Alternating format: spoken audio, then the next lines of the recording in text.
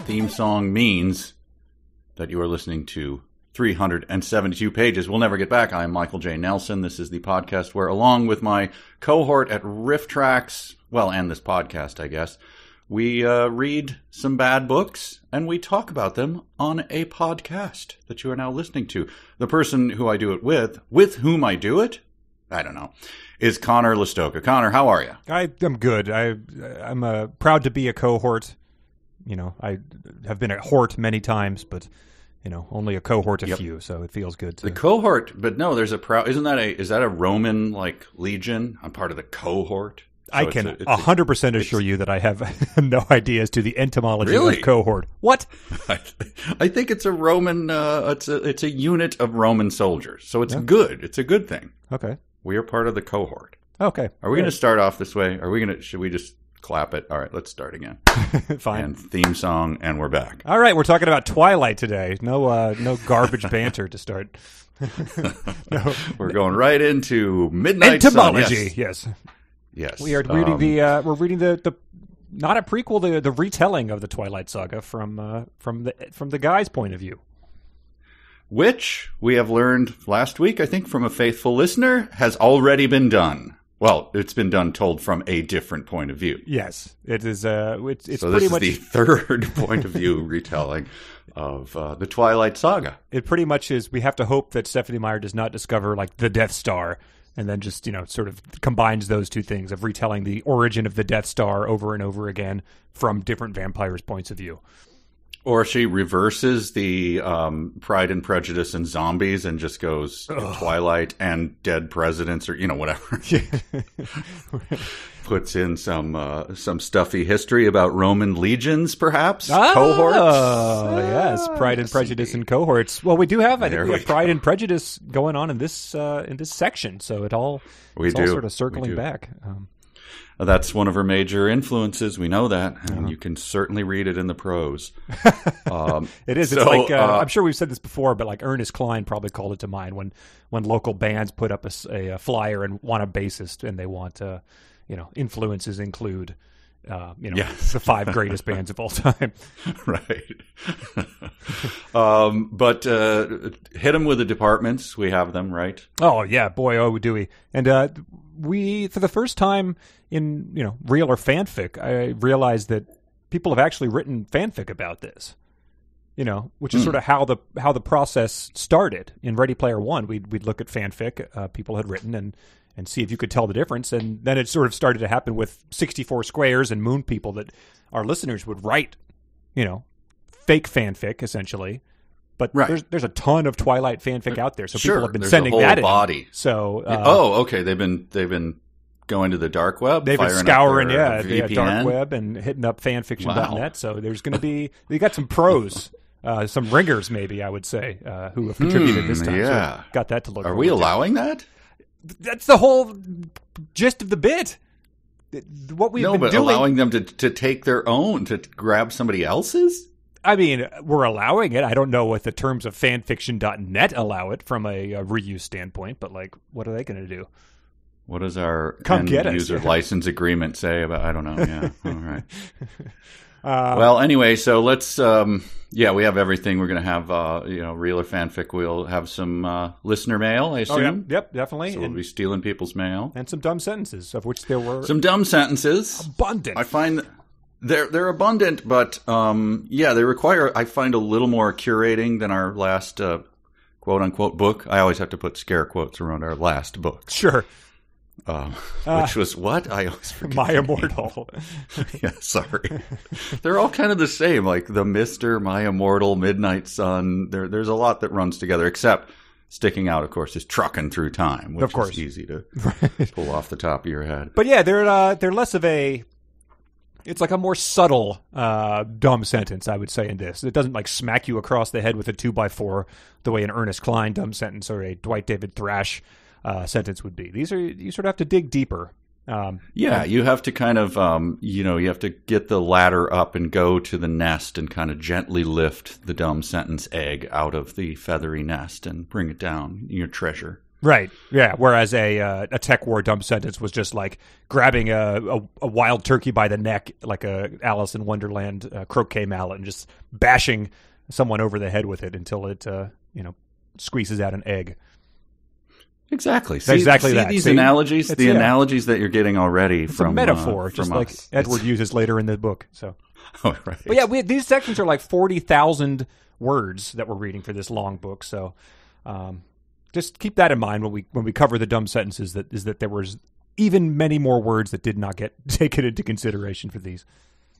Yes, and uh, plot wise, I don't know that we really need to run down uh, much for Twilight. If you have not heard of Twilight, or have never seen a movie, or heard of the movie, or know the premise, Mhm. You might be listening. And I've never said this before. You might be listening to the wrong podcast. I don't. I don't know. I don't want to say that, but you know what I'm saying. It's, Sure. It's it's kind of out there. But where are we up to this point in terms of the plot? Well, he's uh, Edward has met Bella and is infatuated with her scent, and uh, he saved her from getting hit by a car. And I think that's it. That was the first forty thousand words of the book. Right, right. There was a, you know, staring at her in a lunchroom scene that I believe was longer than The Old Man and the Sea. Yeah, it was novella chapter alone. Yes, yes. and so we're uh, where we are now is he's still he's well, I guess we'll get to it, but he's just kind of he's become infatuated with her because two reasons. He, her blood smells absolutely delicious. Yeah, And I don't doubt that. I've smelled some people's blood, Sure. and it is at times, if you're hungry, it's like is a delicious. realtor baking cookies in a house to sort of get that uh, warming, Yes. inviting. And the second thing is that she has uh, inferior skin, and so that blood is sort of like right there next to the surface. Like it's a what is a is there a tissue that's only one cell, you know, wide? That it, her blood, you know, I think I assume it's harder. I learned about that after we learned about the cohort entomology in, in high school. So I've Sure. forgotten the, the one Yes. cell thing too. Anaphase. Yes. It's anaphase. No, he goes. Uh, I think when he was doing his revenge killings, the blood must have been much harder to extract, and it's just like a pain, just a pee. Okay. Yeah, and so her blood is just like sitting there on the surface. Yes, it's like a pile of uh, free bird seed that Wiley Coyote is uh, has has staked out for the Roadrunner. It's like if uh, Nick Nolte saw that overturned truck of benzene on the freeway. That's free benzene, baby. Yes. You got to go get that. Exactly. So there's so so her blood is just right there. So that's where he is. He's he's checking her out. And so here we are. This is chapter Five. five of uh, Midnight Sun. And why don't you dive in with what you got? Well, yeah, it starts off sort of on a on a high note. The the last page started with him sitting in high school, lamenting it. We played some uh, Simple Minds for you, but uh, this one starts off uh, with I think, man, uh, it, it makes uh, Ebony Darkness Dementia Way seem sort of like grounded and and sensible. He says, "High school, Wow, that is that's quite a claim. high school, purgatory no longer. It was now purely hell, torment and fire. Yes, I had both." So he's yeah he's uh, he's like uh, it's the sort of thing that you know he'll be reading uh, his his diary uh, aloud ten years later, talking about how how much of a drama queen he was back in high school. This is a uh, this comes up a lot, but I, I think I have the note many times. Is you know again, immortal being hundred and thirty some years old. What what what is yes, I think again? yeah, one eighteen to one thirty, something in that range. uh, accumulating, uh, you know, piling up the PhDs. I Mhm. mean, two if two is piling them up. It's but more those than are you have. That is true. Makes more money than you do, man. uh, so it's just always you just have to put everything in that context. It's the um, I don't know. It's the watching for me. It's always the watching superhero movies. Is like this is a guy in in a costume, and you, you just have to constantly remind yourself this is like this ancient, wise.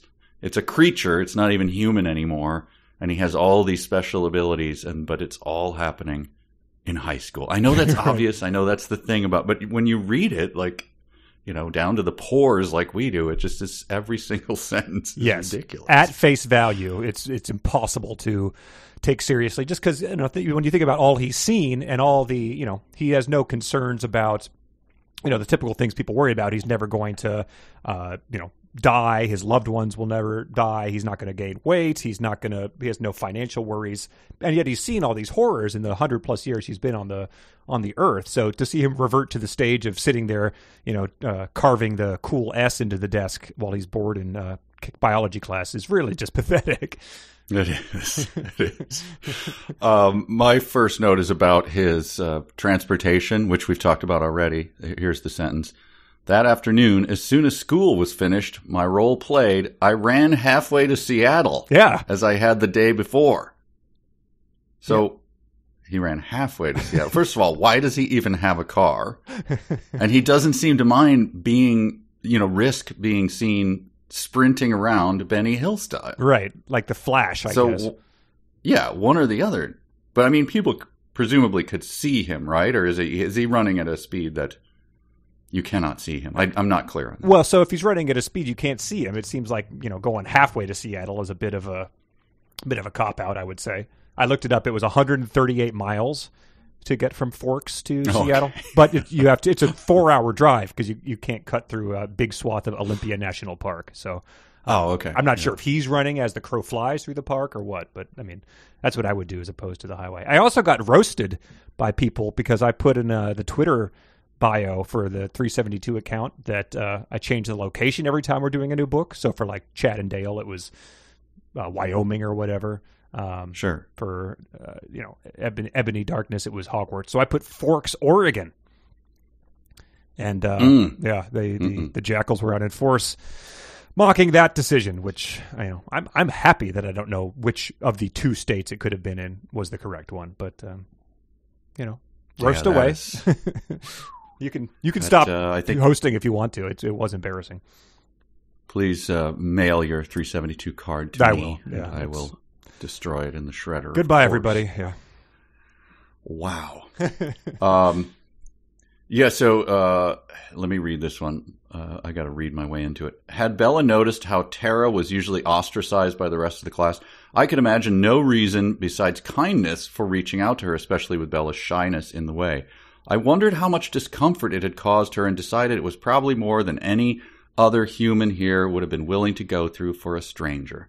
And I just just to be clear, Tara was one of the humans you'd made plans to tear into pieces like freshly baked bread just a couple days prior. Right. Like yeah. you were plotting her murder down to the first I go to the left, I make a slight feint, I twist around 180, I snap Tara's head off. Right. Maybe lick a little of the, you know, the stem of her neck as I twist it. Right. And now he's like, gee, I wonder how Tara, Tara seems nice. it's just. And so he it's pretty an odd turnaround. He pretty much so Tara was a stoner, I think, that like Bella asked to join a group biology project, and he so he's describing it. That passage you read is like as if she's you know, uh, you know, Mother Teresa like walking amongst the lepers or something like that, where it's like uh, you know, at some point in time, everyone has to be part of a group. So she might have just gotten ahead of it there. Right. Um, yes. But like she, so this this is sort of like meant to. Uh, a lot of this chapter builds up Bella's like Mary Sue credentials here, and so being yeah, you know, she's she's saving the cat. She's, yes. she's like obviously very sweet. She's gonna climb up a tree and save a cat, and that's clear all that she's doing because this uh, this uh, little anecdote uh, resolves itself in quite a dramatic fashion. Listen to this. Given Bella's grasp of biology, I wondered if the grade from this project would even save Tara from failure, in this class at least. And that was exactly what happened. So, all right, that's that's the Tara story, everybody. That's uh, you know, I'm glad we got that detail. Now, when I had survived World War One, uh, but let's get back to the biology class. Right. Yes, he saves with Mr. Banner. Yes. Uh, Mr. Banner also had a weird. Uh, he sort of uh, thought about the the class. Uh, he says uh, Mr. Banner thinks no one ever gives that kid a chance regarding Tara. That's nice of Bella. She's kinder than most of these cannibals. So the teacher is that's how he's he's describing his his students, not knowing that one of them, yes, was planning to slaughter him and everybody else. Um, so who knows if that's missed a, opportunity to call them jackals? Yeah, possibly. that would be great. I'll, I'll leave it there. Yeah. uh, the the thing then becomes the thing being the book. that we're talking about becomes very Mike Newton centric. My And I'm, God. I'm torn. I'm torn about this. yeah. Why are you Um, torn? because- Because I'm I'm fr- I'm quite frustrated by it too. But I'll I'll let you go first. Well, it's just like it's it's funny. He's like some of Mike Newton is funny. Like Mike Newton in his head says, "I mean, I guess some of the costumes are cool." Slave Leia. So, talking about, I guess, going to see Star Wars. They're going to Comic Con because that's when some guys uh, Comic Con. Sorry, ideal Yeah. vacation. Yes, but I mean, I don't know. He seems he he gets inside of Edward's head again. Immortal monster. Right. Yeah, he was in the trenches. Yeah. and he could not be just more of a bigger just dick bag and that amuses me but it is he's also sort of i can see why he gets into his head because he is irritating Yeah, and he's willing to he's willing to sort of debase himself as we see later. He's uh, he's got some strange like uh, guy who spends a way too much time on Reddit energy about him. But uh, yeah he does uh, but he he also throughout the entire book here, uh, this you know this when he mentions going to see slave Leia's at the uh, convention, we, it's that's the only real like he keeps talking about like Mike's horny fantasies. But he always just alludes to them. He's like, and then what Mike was thinking would disgust even the most debased person. Uh, But you know, I, I'm irritated that they never share what Mike is thinking because uh, it just it would it make his character that much more despicable. I think to share it. it is it's a theme in this i have that a number of times when people are he, he alludes to things that in people's heads like look you got to go all in on this trope Yeah, that he can read people's thoughts. Give us Mike Newton's thoughts, for God's sake. Right. Stop saying he was so lascivious. Like, I want to hear. Yeah. Is he putting Bella into the cow costume? Like, is he, you know, Yes. what kind of rig is he describing? Please. is he, is there some sort of like, you know, weird prophase sex thing or something? Like, it's, we, we need to know. yes. Especially like considering, you know, the, the, the level of explicitness in the Mister, which, uh, I, I guess, once again, this is inappropriate to talk about the high school kids, but still. Yes. No. Yes. I, I understand. Uh, all right. More Mike Newton.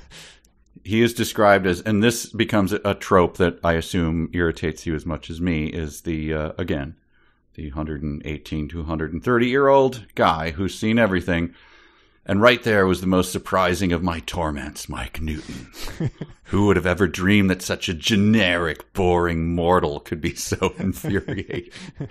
like he keeps being, it's like Lucy in the football. Like you got to stop trying to kick that thing, man. It's Just forget about Mike Newton. right. Or, you know, like ha, let Mike Newton, Newton have a tragic, you know, uh, cougar mauling accident or, you know, falling off the rocks at La Push. Like, you've got a pretty quick Yes. solution out of this problem for a guy that obviously no one would really miss because he's sort of a dick. Yet at this, oh, oh, here's here's. Uh, I'm just reading on. I think it's a, like a line down. All the same, I frequently amused myself by imagining backhanding him across the room and into the far wall. frequently. And that, and that- How how many times a day would you say? yeah, it doesn't, uh, it doesn't cast either of them in a very positive light because, uh, you know, Mike, though he may not be, uh, likable is, uh, sounds like a fairly standard teenage boy. Right, and and so the the monster inside him, as we uh, seems to back that phrase down. She seems to back that phrase down in this uh, reading of ours. But uh, again, the immortal monster. What he does with his time is to frequently imagine slamming a high school, backhanding him across the room. Just just pointing that out again. Right. Uh, yeah, the monster was back down. I had some. I had some quotes about it was stronger than before, rejoicing. The monster liked that. The monster inside me hissed with annoyance. So we'll see. We'll see how, um, how if she's able to keep that up. Okay, because I I tracked but didn't do a very good job of it. Maybe someone else did on uh, Bella blushing. Okay, is a- great. is a trope. It does come up, but I just didn't track it as as diligently as I should have. And on that same note for him, uh, Edward does a lot of chuckling uh, this time around. He.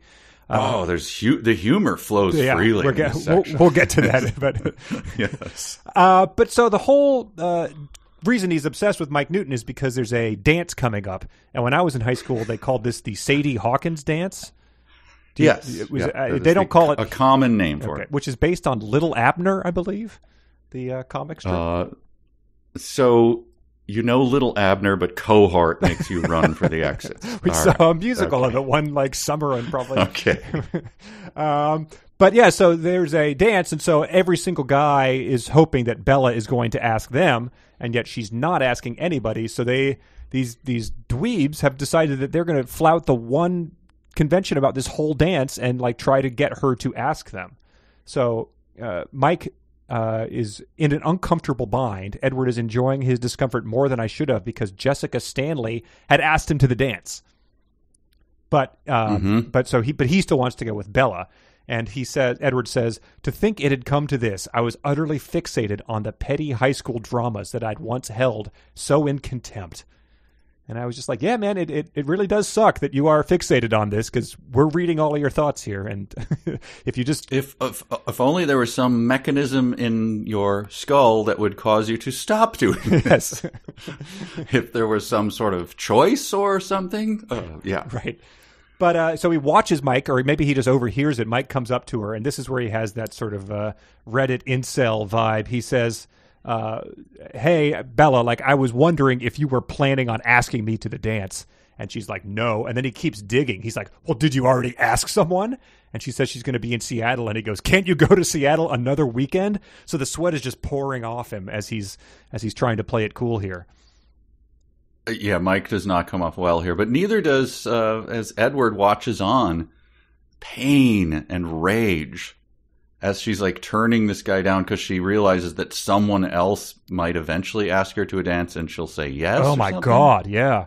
He says, And uh, it just goes on and on. It's like relax, dude. Yeah, she was lovely and intriguing, and human males were not oblivious to, to this fact. Whether she would settle for someone in this lackluster crowd or wait until she was free from forks, the day would come that she would say yes. So well done, Kreskin. You're you're thinking that this wildly appealing girl is evidently going to find someone to be romantically involved with. That's uh, some grade A prognosticating. Yes, indeed. Um, this is a uh, so we had the trope. I think last week of the uh, long fingers, correct? Long hands. Yes. Uh, this is this came out of nowhere, and I'll just read it and see if you. Uh, it just shocked me. Her eyes tightened, and I remembered that I had said those words to her before, just before breaking a promise. I winced when her teeth clenched together with a sharp click. Yes. Yes, I did note that. The We ice have the Iceman click. we have an Iceman tooth snap in here. How many of our we had it in bad books before? I don't. I think it was at least two, maybe three. I'm pretty uh, sure it was in TekWar, and I'm pretty sure it was in the Mister. Yeah. Oh, it was in it was in Shadow Moon, maybe. Like I have uh, Armada, I believe, had it, which could have been a reference to uh, to the movie. But yeah, I, I, don't know. I think Have most you people ever clicked your teeth at anyone? no. Sometimes like at night, you know, in the middle while you're sleeping, that type of thing. But Well, that's bruxism. That you know, that's a condition. But- that's not. Uh, yeah, no, not at all. It doesn't happen. okay, that's just weird that it came up again. That is so bizarre. I I guess if you're looking for this type of thing, it, it, maybe it stands out. And but if, yeah, why does it keep coming up? Why do these bad books But, all I have mean, these was- same threads? yeah, I don't know. And and I'll read it again. He winced when her teeth clenched together. So this is a and he says a sharp click. Yeah, So I- this is like. This Yeah, is hey. Iceman. it does make you in. I, I I don't like you know. It's not a good. It's like a rubbing a balloon to me. But Do you know people who do the, the they bite the fork? uh no, but You know, as they pull it out of their mouth, and it makes that Uh, little. no. That you. one causes like I have to leave the room. It's like, could you please not do that? Like what? I didn't even notice it. Like, how can you drag your teeth across a fork? Yeah, really. Anyway, that's what the tooth click is like to me. Uh, but then uh, she, he, she, he, I guess another guy asks her out. I forget this guy's name. He has not played a big role. He might have been the guy that wanted to go to Comic Con. She turns him down. Um, and then, Oh, she- please, are, are you are you downplaying Eric and Tyler? uh, well, I know Tyler Crowley, please, but yeah, Eric. I guess. Sure. Okay, so guy. it's Eric is the Eric is the second guy. Yeah. yeah. So then he says maybe she liked average boys. I winced at that thought. I could never be an average boy. And I wrote just, you are 110 years old and fought in the Great War. Like, he's he's like a step away from strapping on a diaper and you know being just like, I'm, I'm an average boy, Bella. Oh, this is what he's fantasizing about too. He's just obsessing over it. and annoyed when his family notices it. You Right. know, when they do the very sensible thing of saying, "Hey, Get your act together, man. You This is- know that this is bizarre, right? Yeah. you you really need to stop doing this." He's like, "I don't want to hear that from these people." Yeah, he's a sullen teenager. He's just like, man. But If everyone's telling you you're drunk, it's time to sit down, man. That's just you're you're you're barking up the wrong tree here. but he's not all he's not all agony and and and sullenness and all that. He does have some laughs here, and no more so than when he uh, blocks Bella's car in so that Tyler Crowley can approach her and be the third guy to ask her to this dance. Oh yes, Man. yeah, yes, So- indeed. He says, I was right to have waited for this. Bella turns him down, of course. The horrified expression on her face was priceless. She had no feelings for any of these human males who wished to court her. Also, her expression was possibly the funniest thing I'd ever seen. And so then he drives home with his brothers and sisters and says, No one spoke to me on the way home. I continued to chuckle every now and then, thinking of Bella's face. How funny could this have possibly been? I mean, I, make the funniest face you can imagine, and uh, she has to be 20 times that funny. Oh well, this this leads into my. Uh, I have a visual challenge for our. All we can do is present it to our listeners, and you can, you know, if you're listening with another person, then both do it to each other. Okay. So there's there's that one. Make that funny face The that fun- keeps him laughing the entire car ride home. okay. And now here's an even more subtle one. That one might be easy. This one is very hard. Okay. She glowered toward the back of my car without meeting my gaze, looking as if she wished she were driving a tank rather than a rusted Chevy. so, I, I That's, mean, yeah, that's uh, got to get trying to think of those Stanislavski. That was the final test in his acting schools, I think, was convey that with right. with just a glare. Yeah, rem- remember the the classic uh, make him laugh when he kind of like he pushes his hands over his face and twists his face in different directions. All you have to do is make your face look like you were driving a tank rather than a rusted Chevy. Wished you were driving a tank, so it's a, it's a theoretical thing you're wishing. It's theoretical. It has to. You have to convey that to your acting partner, like it's on a card, and you have to. Hmm. What is that face? Oh, oh, uh, uh, a tank. Driving a tank instead of a Chevy. Yes. Yeah, that's when you're playing charades and people accuse you of cheating or somehow like you know signaling with other things that you're. But it reminded me of one of my one of my favorite uh, stories that a friend told me. My friend Andrew one time said he was just like driving somewhere with his dad, probably in high school or middle school or something, just in silence. But uh, you know, after a, a couple minutes of silence, his dad just goes, ah, "John Candy." so, so I mean, you know, if that, that's what Edward's doing, I sort of relate to him. If he's just calling back that fond memory of Bella's funny face in the way that you would uh, a great John Candy moment. Do you, did he say was it to try to get him to ask like what are you talking about? I, I never really got the sense of whether he, uh, which moment he was trying to Uh, draw him out, but uh, no. Oh, oh, that? Oh, no, it's just when John Candy was, you know, Uncle Buck. And uh, oh, you've never seen it? We're driving to the theater right now. right. Ah, but yeah, maybe if John Candy was wishing he was driving a tank instead of the uh, van in uh, Home Alone or something. Right. Uh, by the way, did not track, although someone should as well, the throat scorching, the thirst. Oh man, yeah, the that thirst. That stacks up to a level that is just, I just skip over it. Like, okay. All right. Yeah. Uh, the first one I noted said the questions had stabbed and twisted like the thirst that attacked in me every time I breathed. And I was like, well, that's not even how they describe thirst if it's in an ad for like Surge or, uh, you know, Mountain Dew. Like thirst stabbing and twisting. Yes. He's not good at it. right. Um, here's uh, unless you have a note before this, I have uh, the uh, he gets into the the way that they survive Mhm. as a family. Sure. The Cullens. Go ahead. I thought of the multitude of illegal documents my family needed to live as we liked. False names and false histories, driver's licenses that let us enroll in school, and medical credentials that allowed Carlisle to work as a doctor. Papers that made our strange grouping of nearly identical aged adults comprehensible as a family. and uh, that's, again, those are the details. Right. Yes. I, I want that I know it may sound, you know, like I- guess if you're a teen girl or something, you want the the romance, the brewing romance that can never be, the doomed romance. I'm sorry, I want the going to uh, bureaus and filling things out. The nitty gritty. and how does that work? Yeah. And so I, of course, dove to the uh, I dove to the the dark web, Oh, yeah. Oh, well, that's, you know, and go uh, for the nitty I did not find anything. Well, bury the lead. So I, I'm sorry about that, but I emptied the uh, 372 account and and hired uh, oh, the, bank uh, account. 372 players. Oh. yes, yep. Huh. But it was worth it. Wow. uh, that's, I guess, for both of us to judge. I think you will. Yeah. All right. Well, we'll at the end of this, you'll uh, you'll figure it out Well, yeah. whether or not it was. I kind of, but either way, it's it's gone. I mean, it's not. I've been talking to Hey, David could you Cross. file I the thought uh, I, 10 I was going to 1049s on those or whatever as well? Yeah, I appreciate I that. Can do that. I Is that the Which right we form? Well, talked anyway. about it. No, I'll, I'll look into it whether that's the right form. Okay. because, Yeah, that's sort of, sort of on me. That's where the Yes, thanks. I appreciate that.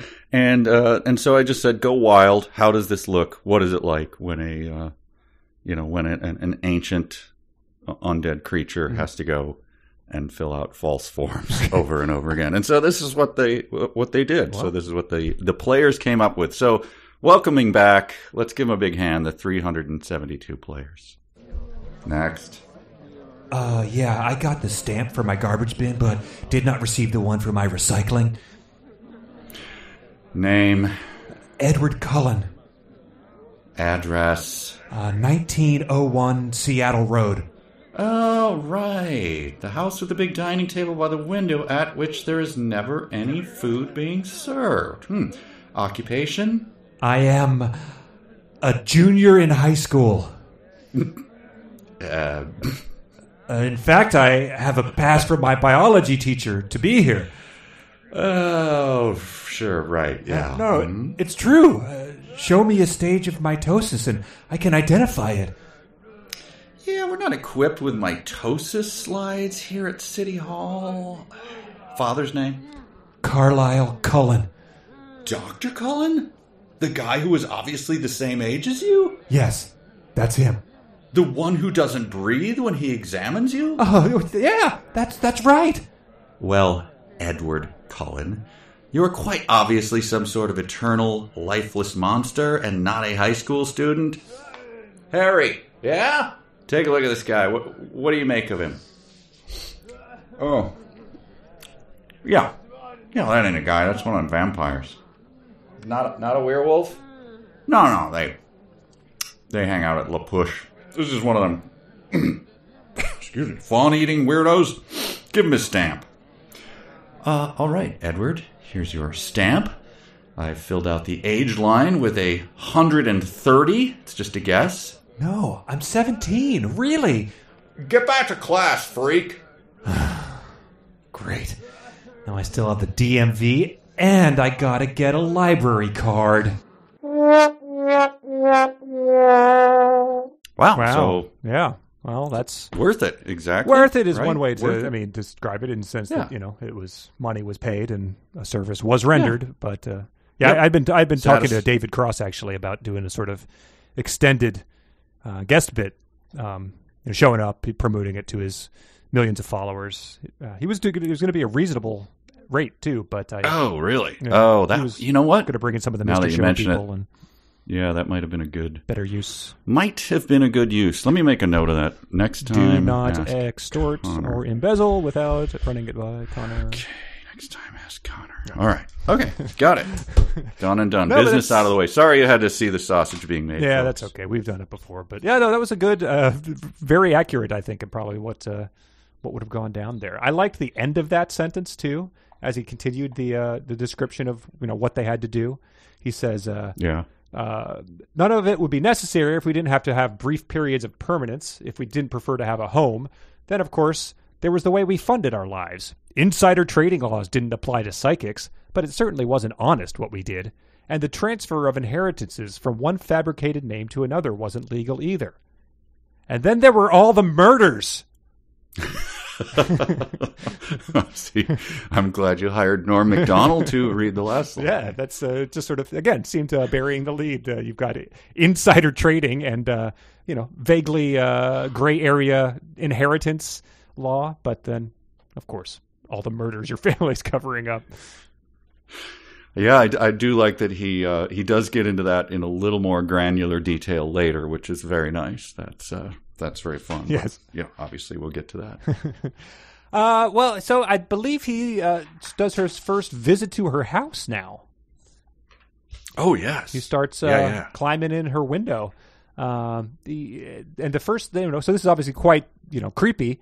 Uh, he's just pretty much watching her sleep, but he also notes that she uh, her inexpensive CD player, and he very much wanted to go read the titles of her books and CDs, but I was determined to take no more risks. So the mystery lingers of what she's reading and listening to. But uh, I did also like the inexpensive CD player because it implies that Edward is discerning in that. So he might be one of those like Steely Dan guys calibrating your like listening room hi-fi type of thing, which would you know Uh, probably the only way to make him even more loathsome. Right. What what sort of a, uh bit rate? Oh, okay. Right, Yeah. yes. Mm. That's pretty low end. Uh, uh, but he, he talks about the risk, and so he does the least risky thing because he's going to take no more risks. Instead, I went to sit in an old rocking chair in the far corner of the room, where where he will look completely normal and natural, Right. and at home. Let's take the chair that involves constant motion and uh, you know is probably going to be just creaky and you know also a weird thing for a teenage girl to have in her room. So, really old guys, if you don't want to take any risks, go into a sleeping teenage girl's room and sit in a rocking chair in the corner and watch her sleep. and then you're, you're that's the safest path you can take. Right. That is 372 pages approved behavior for everyone. Good. Yes. Uh, he also they he he wedges the title of the book in here. Uh, he says, "My life was an unending, unchanging midnight. It must, by necessity, always be midnight for me. So how is it possible that the sun was rising now in the middle of my midnight?" Which is just you know it's equivalent to someone uh, turning to the camera and being like, "Well, the Empire sure is striking back, aren't they?" um, he does. Did did you note the uh, the killing of the the hobo spider? Oh yeah, right. Was that in the? I think that was might have been in the movie. I recall something like that. oh man, I don't remember. I did. I, And I think it's a it's a you know reference to um, uh, Bram Stoker's oh brother. Dracula, Mm. our favorite author of all time, Bram Stoker. But he says um, my arrival must have disturbed it. Uh, Tegenaria agrestis, a hobo spider, from its size, a juvenile male. Wow. So, just noted there, one of the things that he did during the 118 to 130 years he's been around is study from hobo spider sizes whether or not they were juvenile and whether or not they were male or female. Well, So are we are we told what the two PhDs were in? One could be in uh, arachnology that's true. or something. It's true. That is true. Yep. But then I don't know if that uh, bodes with his reaching out one finger and crushing it silently. Hmm. Well, he might realize That that they're an, an invasive species in this part of Washington, and so he's uh, he's trying to wipe them out um, since he's so familiar with their uh, biology.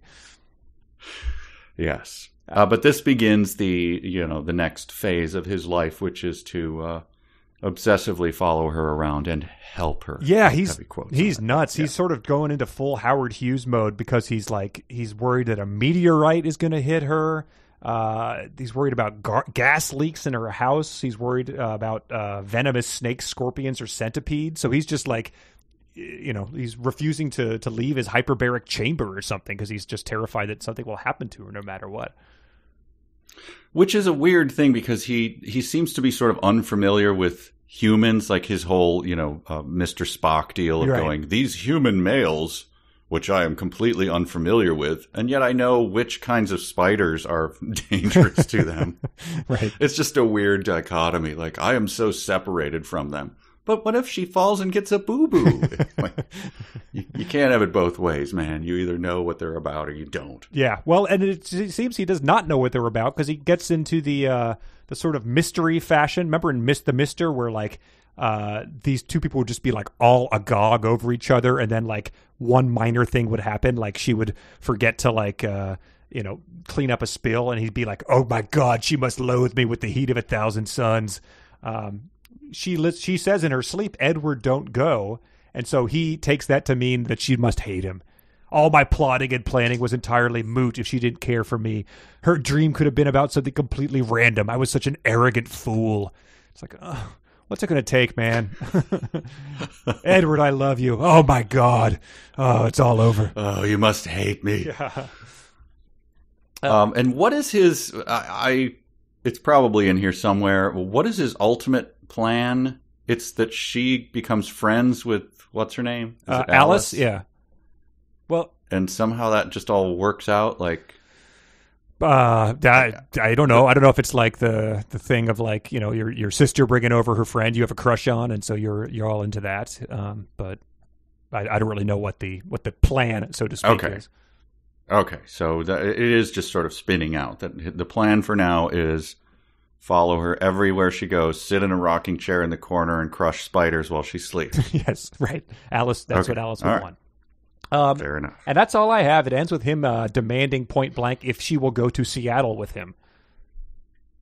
Yes. So we Yep, have. that's all I have. So we've got that to look forward to. Yes. Um, but yeah, that's uh, that's chapter five. Chapter six is called Blood Type, and this gets some uh, some good stuff, some some action, some Mike Newton, some uh, horny adults for teenagers. So let's go right in. Yes, indeed. My first thing to you is a physical challenge. Oh, boy. And I'm sorry, these. Ca- I wish they were all Sonic. It's just a different kind of. This we'll have them, I'm sure. Okay, yeah, I don't think I have. I've any got more. one here. She stared for a moment, and then her forehead crumpled, and her eyes dropped to the floor. Oh God. So okay. stared for a moment, then her forehead crumpled, and her eyes dropped to the floor. So I can- obviously you don't. yeah. You don't have to take that literally. You don't have to drop your eyes out of your head But onto the floor. A forehead crumpling. I can think of a uh, you raise your eyebrows and your forehead sort of wrinkles up. Crumpling, I would say, is like uh, the opposite of that.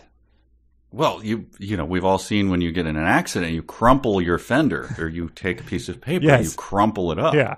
So I was just wondering at that, like, what is happening up there on that forehead? yeah, I don't know. Maybe she So- has a lot of like loose skin from some sort of graft or something. Like, Well, we know her skin sucks. it's the worst skin ever. It Yeah. barely does anything. so when it crumples, is it less translucent since it's sort of bunched into layers? Right. I don't know. Maybe there's a uh, is there some phone filter on TikTok or something? Oh yeah, probably there is. There's, there's definitely some. That's that's probably what it looks like. We got to get the Bella filter. Makes everyone's skin Yep. translucent and uh, makes Mike Newton lust after you. Uh, I like this was another example of that. He says, "I followed her all day through other people's eyes, barely around aware of my own surroundings. Not Mike Newton's eyes, because I couldn't stand any more of his offensive fantasies." There he is. What is he doing? Yeah, I remember hearing years ago that uh, you know that it was that statistic that just a fake statistic before there were listicles and things like a man thinks about sex like twenty five times an hour or Right. like, no, no, I don't. I mean, no, right. that's just absolutely not true. It's like, no, you do though. You just don't know it. Like, no, Yeah, well, that- I'm aware of my own thoughts. Yeah, so yeah, maybe uh, maybe Mike Newton is uh, is skewing the table for everybody.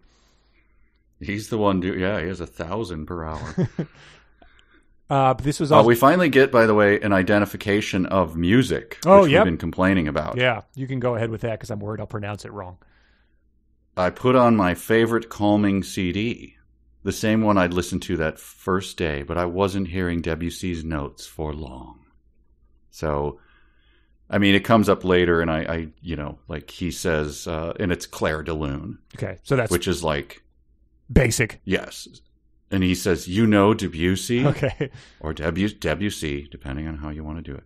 Yeah, uh, I bought Amazon's 1,000 classical musical essentials for for 99 cents Yeah. back in, you know, yes, I know WC's Clair de Lune. all right, good. You know, every child had to play it as they, the, uh, you know, their third level uh, piano uh, teacher made them do it. Yeah, it's know, one of those. Yeah.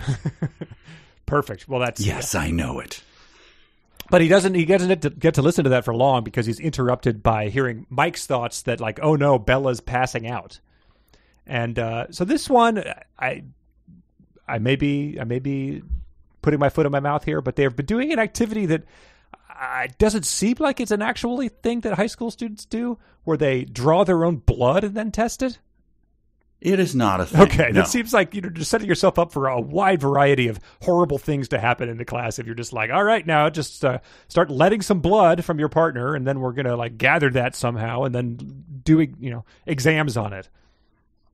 No, I mean I've I did not go to school in a small town in Washington State, but uh, I don't think that that is probably allowed, even when this uh, was purported to be, uh, you know, taking place. Right. Yes. And so, nevertheless, though, it causes Bella to pass out uh, because the um scent of blood is something she can smell. She says it smells like rust and salt.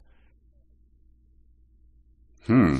Is that your experience? Uh, I mean, I think people talk about maybe tasting rust when they taste blood, but I the salt sort of threw me for a loop. Uh, just in terms of salt having a smell was strange to me. that is very strange. Yes. Good. It's the uh, I uh, someone I think Bridget got it from someone the uh, the grind salt grinder. Okay. Yeah. Are you familiar with this? Uh, yeah. I mean, I understand. I, I I'm familiar with it. I don't have one. there's there's no such thing as like fresh ground salt, right? to get that to get that nice fresh. Like once you, you oh you crack into that nugget of salt, Right. you get that ah there's the smell of the salt. Yeah, it's hundreds of years old, probably. These crystals are. no, it it can just be sitting in whatever size you need it. You don't need to crack it at the last minute. Uh, but yeah, she. Uh, so this visit to the nurse's office, my God. Yep. Again, name another novella. I don't know of mice and men. This is much longer than that. Um, yeah, I like so in a couple other things. Uh, he was looking at Mike Newton and chuckling about how vulgar he was, but then he goes here, and the teacher, I guess Mrs. Hammond, the attendant, says. Uh, j- he says she's just a little faint. I reassured Mrs. Hammond. They're blood typing and biology. She nodded, understanding now. There's always one. I stifled a laugh. And then soon after that, does this happen a lot? The nurse asked. Sometimes, Bella admitted. I tried to disguise my laughter as coughing. Is he okay? Like, is he? Yes, I have the same. Like, what is happening? it, it's just, I guess it's the monster in him. It's a different species. They have a different, sense of humor. you know, humor is just completely different. It's like you hear, uh, let's see, you hear Chinese music with quarter tones and stuff, and you just go, I don't, I don't understand it. It's not. It's not Western music, so I just don't have the, the reference to Right. it. And I guess their humor is it's I, I it's don't at the level the- of like uh, NFL pregame show with like Terry Bradshaw and Jimmy Johnson just yucking it up over anything someone says. Like everything is a laugh line on those shows, and I guess Edward would fit in as a pundit there. Do you do you think that maybe he the whole time was thinking of John Probably Candy? must have been. it's Yeah. it'd be uh, quite a reveal. Yes.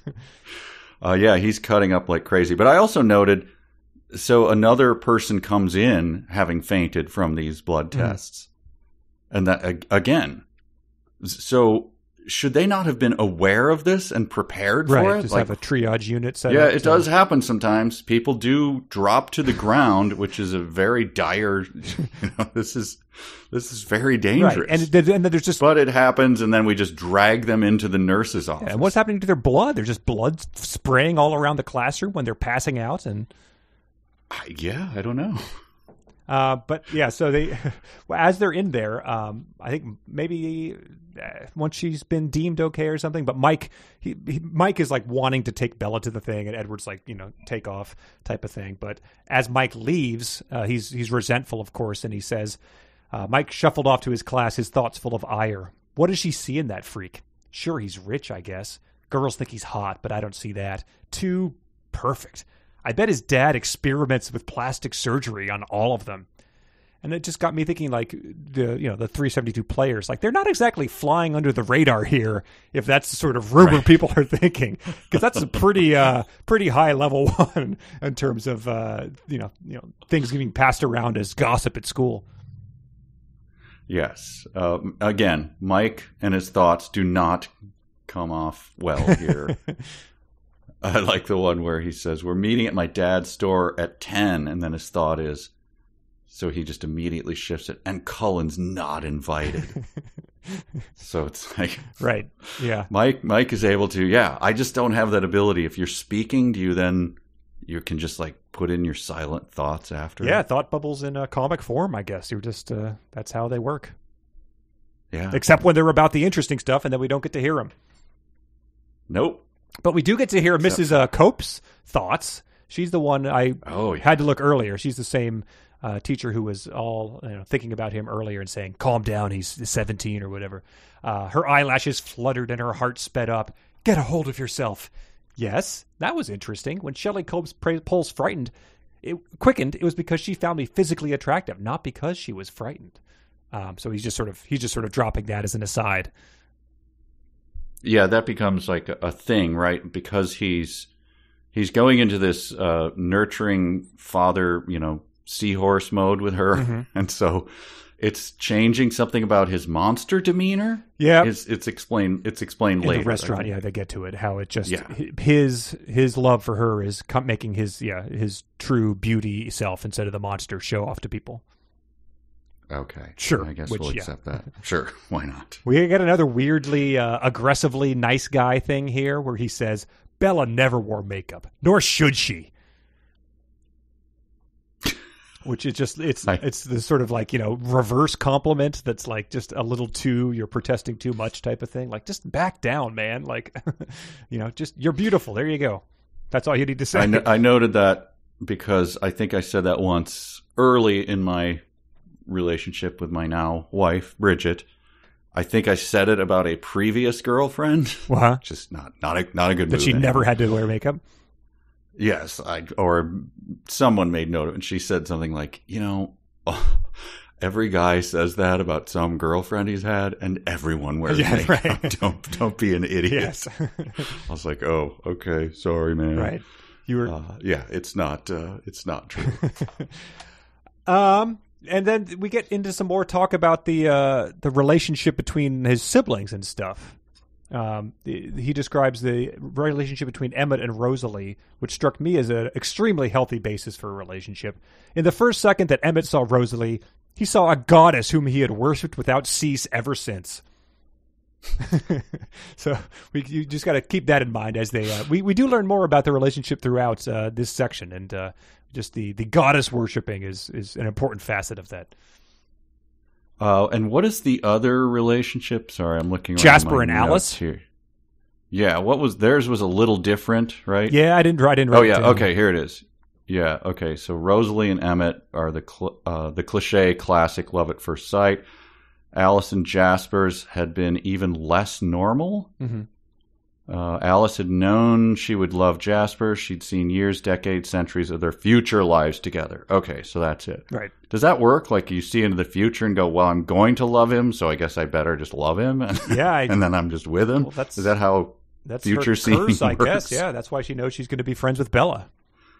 Right. I guess that is. Yeah. Yeah. Yeah. And then you learn about Carlisle and Esme's relationship, which like he he found her when she was like eight or something. Uh, believe it or not, it also is weird and strangely underaged.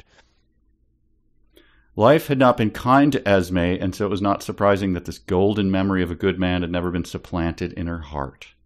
So I guess she saw him, but it wasn't. It wasn't untoward with Carlisle, right? Uh, She's she hooked up with him later. I, what I'm I guess so. It still is an odd thing of being like, yeah, but you know, you saw her and she was six, so like, like let's let's not make let's just stop talking about these weirdos. It's it's really really something she didn't think out very well uh, when how this would come off to her reading audience. I will say this: this is a true story. This is a, a distant by marriage relative who was uh, raised in Singapore. Mhm. That uh, one of their relatives said, uh, "You have to meet your new wife," and took them to the playground. now it was not; they were not married at that point, but it was an arranged marriage. Wow. I mean, this is this is not uncommon. It's just I've never met anyone, and so that was the, that was their story. And then they had a, a a long and loving marriage, but it was just that was the first time. When did you meet your wife? Oh, when my in-laws told me that you're going to marry that girl and took her to the playground. Was he a boy too? saying. Was he like also on the playground, or was he? He was he was older, Okay. He was beyond. but I don't know playground by how much. Yes, but he did not get to see her or anything. Just be clear, it was just like this is going to happen Oh, at some point. okay. Yeah, yeah. So anyway, Maybe say, uh, uh, we met at a, a bar. There we go. Were watching, Yeah, were watching just- a football game on change it to- Sunday. right. and you weren't allowed in Yep, there if you were six. That's for sure. I was walking my Dalmatian. She was walking her, uh, you know, poodle. The leashes entwined, and our eyes met. Leash and tined with the stroller she was pushing, and that's where my wife was. All sitting. right. Um, um, yeah. we I get one more uh, uh, super perceptive moment from the uh, uh, white skinned, sparkly 120 year old. You don't seem much like a junior in high school yourself, she said, pulling me from my reverie. I frowned. For everything I perceived about her, she perceived too much in return. I changed the subject. Like you, as per our players, which was totally worth every cent, every penny, every thousand dollars yeah, that we agree to paid for that disagree on the. Yep. Um, this is not something that is hard to perceive. he says it again and again, like how weird they are and Right. how everyone avoids them and has rumors about them. They just thought, And yeah, so his dad was performing surgery on them in his spare time. so you can't count it as perceptive when someone goes like, "You don't seem like a junior in high school, right?" Right. Yeah. That would be like uh, someone saying that to Michael Jackson. Like, you seem like an odd guy. what, who, me? no, come on. Now come on down to Neverland. That's where you're going to meet your uh, future wife. Yeah, to bring him up again has Norm's classic line. The more I read about this Hitler character, the less I like him. it's not you don't have to be very perceptive. Right. And then, yep. So after that, there was a, a red flag that I looked at and couldn't make heads or tails of after a, a dozen times looking at him. So I don't know what Bella would have perceived by this. Uh, she says something about like, and your brother and sister, and he says, my brother and sister, and Jasper and Rosalie, for that matter, are going to be quite upset if they have to stand in the rain waiting for me. Are they not his brother and sister too? Like, what the hell is she talking about? I, that's a good question. I my don't know. brothers and sisters, my siblings. Like, why does he differentiate between? Is there some sort of? Is that part of the lie? Is that some of them are adopted or married? I, I it's not worth examining, but it confused me. Yeah, well, remember he's doing. He talks about it a lot, where he keeps slipping up with her, and I think it happens again, where he makes uh, when they go to Port Angeles or whatever. Mhm. He says like, "Wow, I made another mistake," and it, seems to be he is, like I said, completely undone by this person. he's doing the things, you know, like the. Uh, uh, I brought it up before. The alien in this island Earth is like, uh, you know, Mozart is playing, and he goes, "Oh, your composer Mozart is quite interesting." and every hu- and he's supposed to be human, and every everybody goes, "Our composer, he belongs to the world." It's like, how, oh damn it, you know, slap your giant forehead and go, God, how, how did I slip up again? you had a lot of time to plan this. What are you Right. doing? Yeah. So this is just part of it. He just like goes, he, he doesn't he doesn't know what to do when he's around her. yeah. Well, it's that uh, it's that translucent skin like a uh, naked mole rat. So you know, who can blame him? Yeah, it's like one of those. Uh, have you ever seen those mushrooms that sprout up overnight? But it's like a it's a ooze. It sort of. have you seen that? I don't think so. Uh, we used to get them in our. If you like have thick mulch or something, and then it rains, it can like this spore opens up and it just. Oh yeah. out. Okay. Yeah. Yeah. Yeah. and it sort of has a skin around it and it's when you first see it you're like this is obviously an alien that's what i picture her body as Great. just like a Lovely. sack of fungi that has grown out of the ground Um, a friend added me to a uh, Facebook group for like slime mold enthusiast or something, and it was the it was the fastest that I've ever muted a uh, a group that I had accepted the entrance to. just added you to it Yeah, she added me to that and a frog meme. Uh, it was just like, okay, what are we doing? that's uh, something you gotta ask in person you can't uh, yeah you can't do that uh, but yeah, so this sort of chapter ends with him sort of demanding, uh, convincing her to uh, let her drive him, let him drive her home, and then Alice will drive her car back home later. It's a very convoluted method of getting home, but he sort of does the uh, you you you can't drive yourself. You're too weak from passing out of the sight of your own blood type of thing, and she goes along with it. Sure. You know, it's a, a normal thing. Like I've said uh, all of two dozen words to you, and also been really rude to you. So let my uh, weird sister drive your car home. Yeah, and when you are, are in my presence, I look like I want to vomit all over. so sure, yeah, sounds good. Right. Uh, and that that was the end of that chapter for me. That's all I got. Yeah. Nice. Well, I think uh, as we before we move on to chapter seven, melody, we can uh, do some of this long away. These are fanfics or potentially real experts, real excerpts from uh, later in the book, uh, Midnight Sun. So the could be all fanfic, or they could be all real, or it could be a combination of the two. And like I said earlier, some of them are written by our loyal listeners. Some of them were discovered and submitted by our loyal listeners, many of whom are Patreon supporters, uh, which you can join over at patreon.com slash 372 pages. And uh, we appreciate everyone who chips in a little money to uh, keep the podcast going, make it worth our while. We try to make it worth your while too with early access to everything and bonus stuff over there. It is quite a bit of fun. But I will say, I'm going to slip that as an excuse in my back pocket that people are going to other people's fanfic. I'm going to see how it goes. If I score five for five, then I will say thank you I rule everything. But uh, if it goes Wait. the other way, I mean, what could it possibly do? You're thinking that they might these fanfic writers might be better? Is that what you're saying? Well, yes, of course. If you have to go to someone else to pull out the fanfic, then maybe you are. I don't know. I don't know. All right. Well, here we go. Let's start with number one. This was the essence of a vampire's desire, laid bare before my very eyes. I blinked and shook my head, but the monster was screaming in my ears now. Feed! My whole world turned red. I knew this was it. This was my last chance to stop my monster, to stop myself. I spun around and lurched blindly for the door, shoving aside the shoulder and the tray of instruments that were in my way. I flew out of the room, barely hearing the crash of metal against tile as I burst out into the hallway. But the hallway was filled with humans too, their pulses thudding in my ears as the monster shouted his rage at my betrayal. Wow. What was the first uh, the first line from it up until This was the uh, essence of a vampire's desire, laid bare before my very eyes. and then he yells feed. Oh, I blinked and shook my head, but the monster was screaming in my ears now, all caps. Feed! Golden Corral's new slogan, of course. um, I think that that is. Uh, I, I think it's fanfic. Okay. Let's do number two. Trying to subdue the beast within, I rummaged through the CD stash in my car, searching for Debussy. Uh, you can say Debussy or you can say Debussy. Debussy. I'll say Debussy. It reminds me of Gary. I rummaged through the CD stash in my car, searching for Debussy. Then I remembered I had given it to Bella. The way those morons had attacked her with their cruel words made me sick and angry all over again. I distracted myself by hunting for another favorite, Vivaldi. I shoved it in the deck and skipped to my favorite track.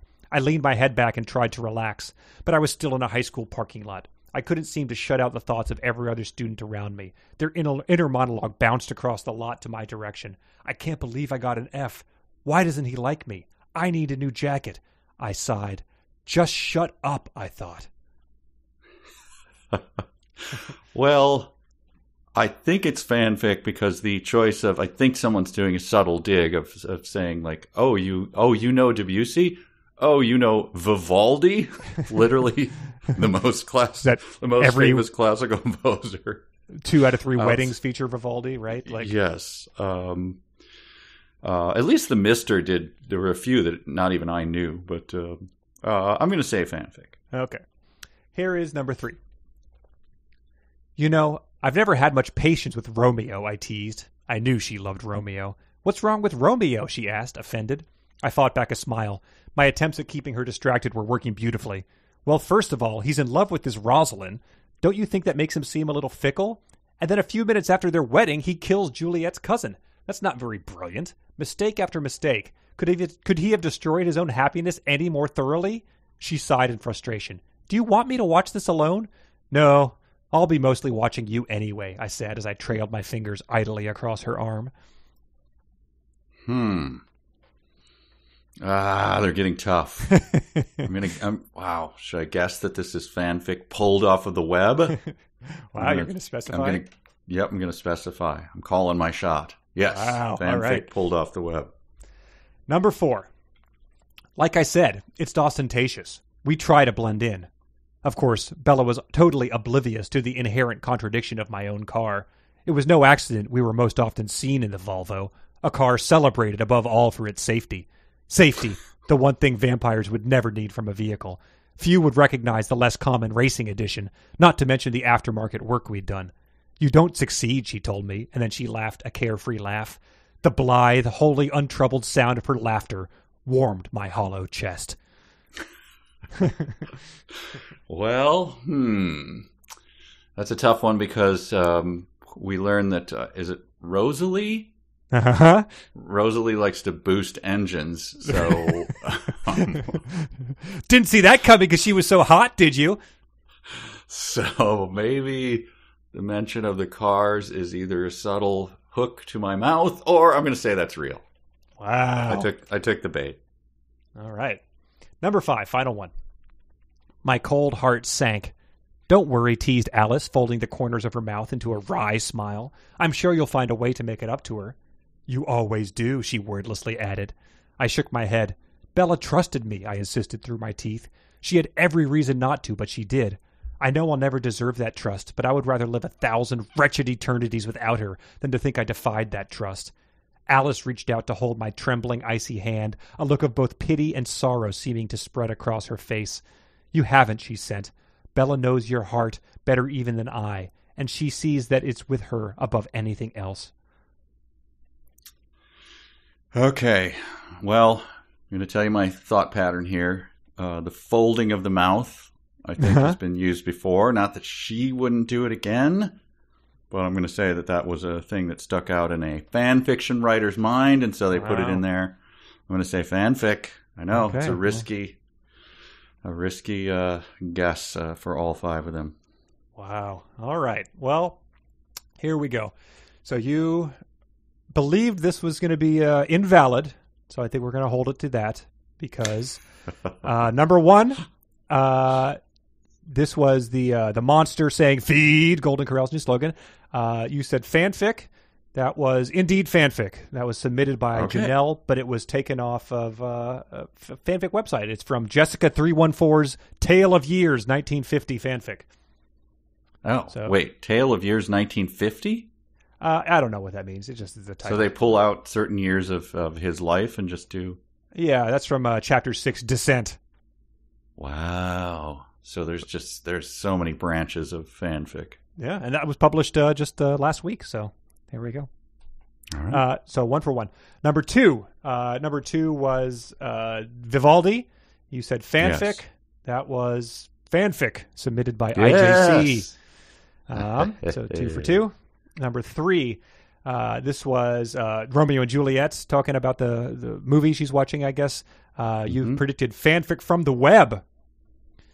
That was fanfic from the web. That was from the fanfic Darkest Nights by Lyd Cullen. Uh, probably not his real name, I'm guessing. Oh, I've got my Dixon Ticonderoga in my hand, ladies and gentlemen. So three for three. Uh, number four. This was the uh, the Volvo, a car celebrated above all for its safety. You said real, and uh, you are correct. That was real. Yes. You get Woo! that uh, that uh, just phrase that rolls off the tongue later in the book. Um, and then finally, the last one was her face folding the corners of her mouth into a wry smile, uh, holding his hand. You said fanfic for that.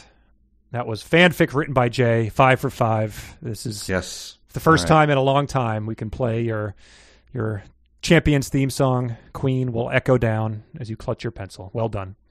I was going to say the, the, we don't have the soundboard queued up. Come on, Mm-hmm. man. Let's we got to turn this into a morning uh, morning zoo DJ thing here. Yeah. Well done. Yeah, you heard my thought pattern though, so you can kind of you know. I th- I think that that impresses people more that I was able to show them the way to my striking striking victory. I think that impresses people more. He says that's. Yeah, well, we'll see. We'll see if people were impressed by that. That's uh, wow. That's but that's Uh, going to I up just- up that percentage of yours. That's for sure. I was just playing uh, yesterday to uh, people who had never done the game of like, what is the song that you would play to annoy everyone and clear a room? You know, presumably a well-known song. Okay. And I and I put on Shania Twain's "That Don't Impress Me Much."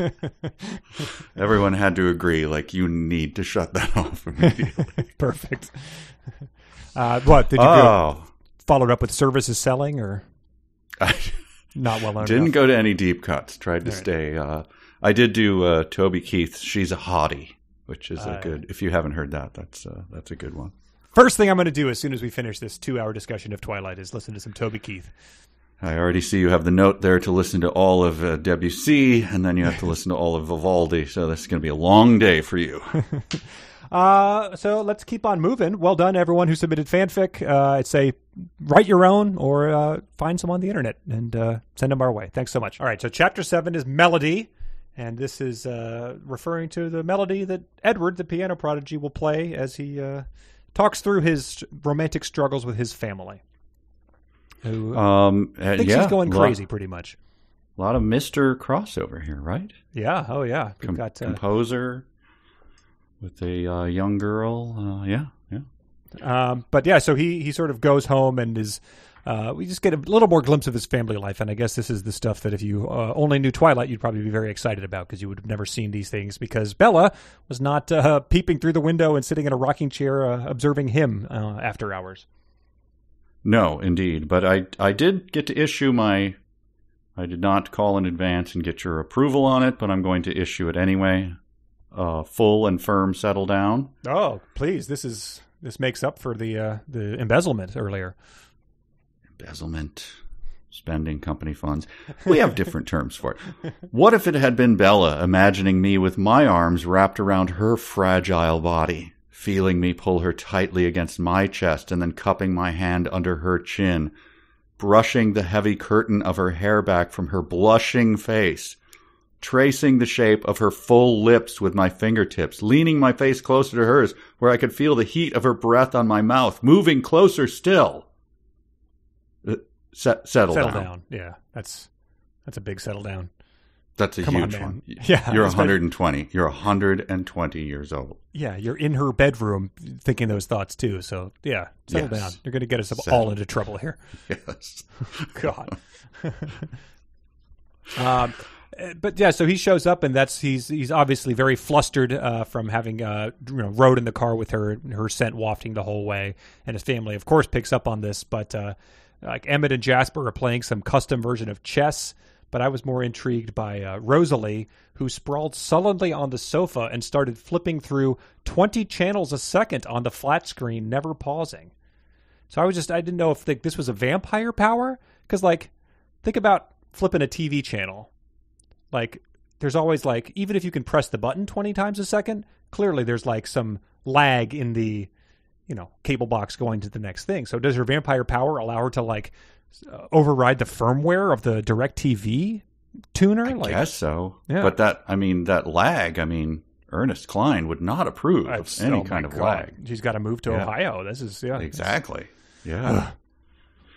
uh, yeah, that uh, that didn't strike me as a thing that is very impressive. You know, it, it struck me as like a you know you hear the Seinfeld theme and like, but a guy can go through the channels like he's a goddamn Right. vampire. you know? click, click, click, click, and the woman's like, slow down, I don't have that power.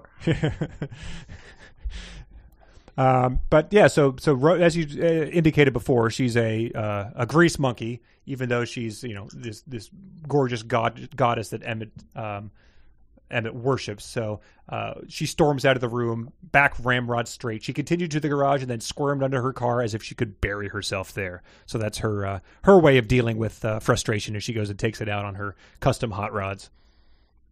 the frustration of him just like whatever his plan is right they're just all sort of vaguely frustrated with him i mean uh, it's obvious you should be I mean, you know human or monster you should Right. be ashamed of him Yeah, they're they're he- he's gearing up to make them all move again, or or worse, type of thing. right yes Uh, yeah exactly uh, and But the, uh, you know The, the no matter how many family meetings they have in front of the uh, in front of the window at the uh, at huge table with no food on it. the foodless table yes Uh, but, um, but like, help me with uh, help me with the math here Okay. So the Great War had raged through most of my adolescence. This is obviously Edward. And mm-hmm. I'd been only nine months away from my 18th birthday when the influenza had struck. Okay. So that's is that What's your, what's your understanding? Were 1918? Yes, but it, it was also the influenza had struck earlier. The worst years of it were. So I, I, I guess I'll just have to grant leeway and say, okay, that's when it was the worst, but it was kind of spread during the Great War.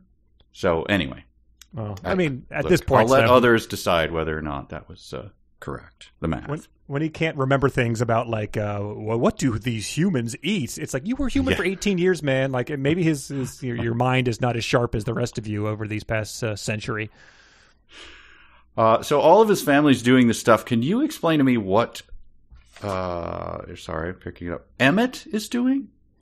He's playing chess with uh, Jasper, right? But Jasper's kind of cheating. Oh, okay. I guess maybe I had skipped down to uh, the bear, Emmett and the Oh, okay. Oh, yeah. They they go out after this. Like he plays the piano, and his mom is really sort of impressed by that, and says that there's he's playing a lullaby or something. But uh, uh, then they then he goes bear hunting with Emmett. Okay. and and so I, I was reminded in this like I think this came up like in the third movie or something in the in the movies Emmett is sort of like a big uh, uh, you know linebacker kind of dumbass with a flat top and uh, it's revealed in the third movie that he was he was made into a vampire after he was mauled by a bear and that was the only Oh, way that Carlisle could save him so now they're out there uh, um, hunting hunting bears and Emmett is sort of like referencing that as he's uh, as he's taking one down Oh. Okay, I didn't understand. The, it seemed like I should obviously know what this is. I had forgotten that he was mauled by. yeah Okay. so yeah that's just sort of a, a callback I guess but uh, Okay. Yeah, while they're out there hunting, he said Emmett says, uh, "Wonder what that human girl does to keep you out." Emmett mused. Maybe she should give, she could give me some pointers. And then Edward says, "My good humor vanished. Stay away from her." I growled through my teeth. Uh, so just imagine this uh, this bag of chuckles. All of a sudden, his good humor vanishing, and this is this is not something you want to see. I mean, he, he's no, he's nothing been but he's been nothing but a laugh riot up till this point. So yeah, yeah. snapping fingers. He's got one of those like uh, squirty flower boutonnieres. But uh, man, when that good humor vanishes, it's quite a turn. He becomes sort of quiet and stone faced and rage, uh, thinking about breaking Mike Newton's arms, etc. Yeah, I mean, you know, like all great comedians, right? There's always a real dark side to him. It's, you know, it's it's the comedy is his release. Otherwise, he'd be in therapy all the time. So yeah, it, Uh-huh. it, it makes sense. Yeah. Yeah, maybe maybe now he's just going, ha ha ha, John Candy. that's that's when the good humor has vanished, as opposed to the ah. But lots of uh, em- Emmett's booming laugh. Uh, Emmett laughed his booming laugh. I wish they were stronger. It would be more fun. Uh, no one said you had to fight your food. Yeah, but who else am I going to fight with? Uh, Emmett grinned at me, shifting his weight a bit. Uh, come on, Edward. And it's just a lot of laughing and grinning. I mean, this is a good time. He waited for me to laugh at his joke and then made a face. So yeah, it's it's just I ignored his joke again. Wow. I mean, man, I wish these guys are cut ups. Yeah, it's there's broing down out in the woods. I mean, you know, Yeah. more more good humor than an ice cream truck. I just slammed into my microphone. Please ignore that, everyone. uh, I like this one too. Uh, Emmett references his death. I wasn't much match for a bear that first time around, was I? Bears, I muttered, adding a new fear to the already large pile. That would be just her luck, wouldn't it? Stray bear in town. Of course, it would head straight for Bella. It's like, is are are there uh, are there any bears that aren't stray bears? Like, unless it's someone's like escaped pet bear. Like, there's is that just struck me as a very odd way to refer to a bear being around. Yes, uh, a bear downtown is always a stray bear. I think I don't know, yes. but uh, let me uh, read that. Russian circus or something. Yes, you uh, you ignored the reaction to it, and so let me just read the last uh, sentence and see what your rea- guess what Emmett Emmett's reaction would be when I say this. Okay. Stray bear in town. Of course, it would head straight for Bella. Uh, uh, what? why are you? Emmett. What are you thinking about her, man? Like, what's what's wrong with you? Emmett said. No, I'll give you his reaction. Okay. Okay. Oh. Emmett Emmett chuckled. Okay. All right. So- That was my next guess. That's, yes. huh. so Wow. still having a they're having a great time. A Yeah. Great time.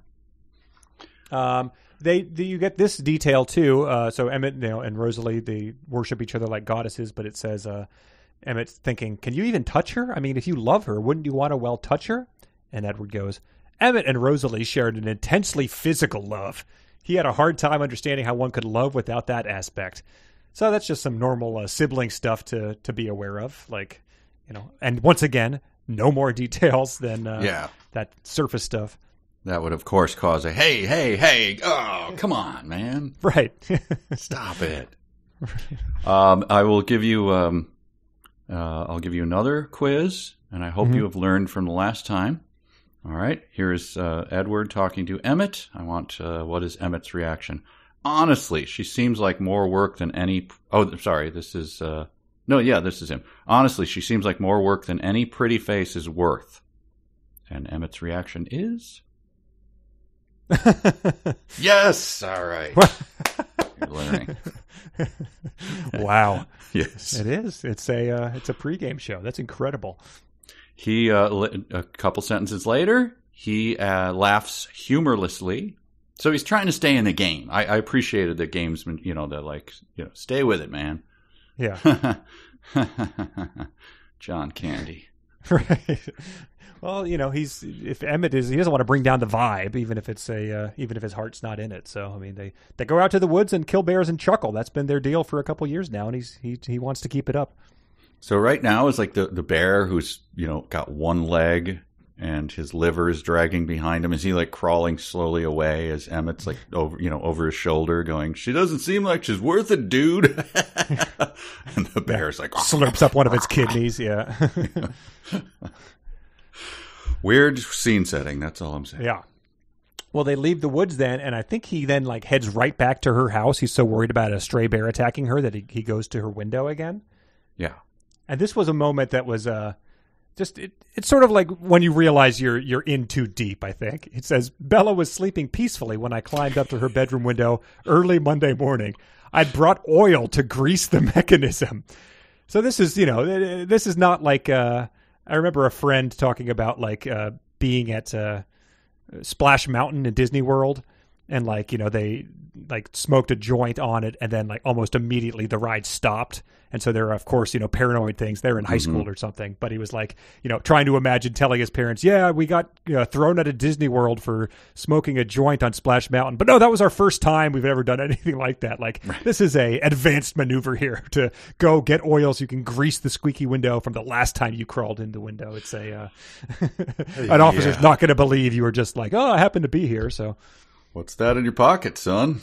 Oh. Uh, but I, I, so you'll just have to trust me, listeners, that this is the note that I wrote for that. Edward bringing a can of three in one oil to grease the window skids is one of my favorite things in the Twilight universe. that one, I actually, I did laugh out loud and kind of slapped the table on that one. yeah, that was that was delightful. Yes.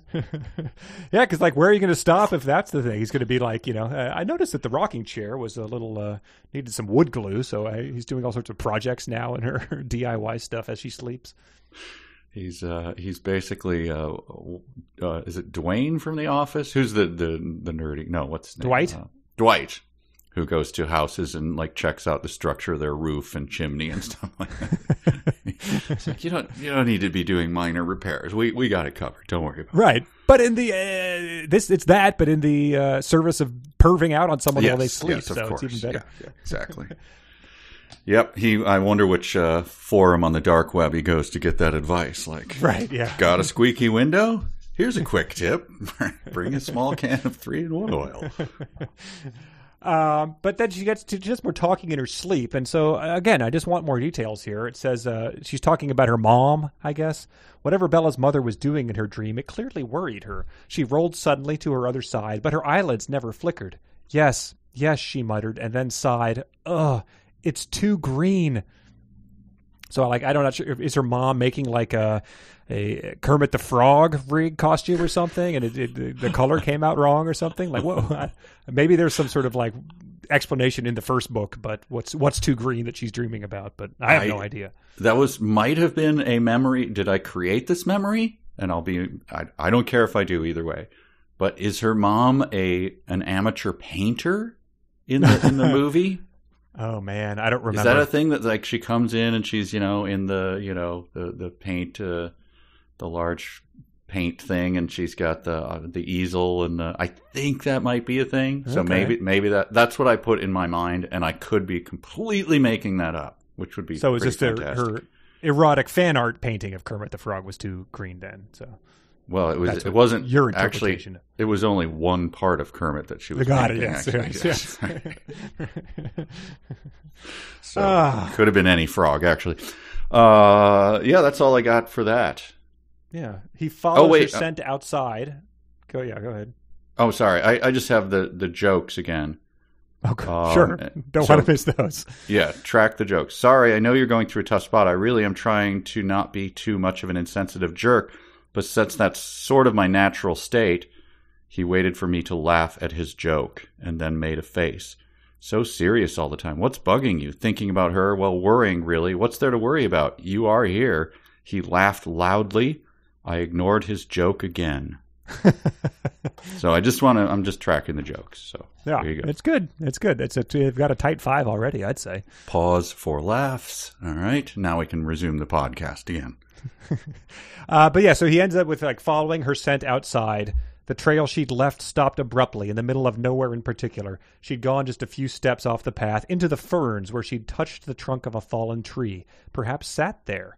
And then he wonders, why would Bella have come to sit here alone? She had been alone, no doubt about that, in the middle of this wet, murky forest. And it, you know, it would just be amazing if you know he sees Bella like coming back with like a magazine tucked under her arm and a roll of toilet paper or something. Be like, yeah, like the toilet was clogged. I, this is what I. What the hell are you doing here? Why do you have a can of three in one oil in your pocket, you weirdo? What I'm doing is totally normal. I'm pulling a Becky. It's uh, everybody does. yes, yes. Uh, yeah, Uh, and that's it for chapter seven for me. Uh, the only question I have, it's not a note, is um, I realized I didn't read close enough, I, and we meet him in the next chapter. But Peter and Charlotte. Oh that's yeah, the- uh-huh. That's how the chapter ends, but I don't remember what he said about them. I suddenly found myself wishing that Peter and Charlotte would make an extended stay. That's just not a chapter end sentence that you get very often. yeah. Well, the Someone wishing earlier Peter- chapter. Yeah, early chapter ended with "Will you go to Seattle with me?" I demanded, and now you have Okay.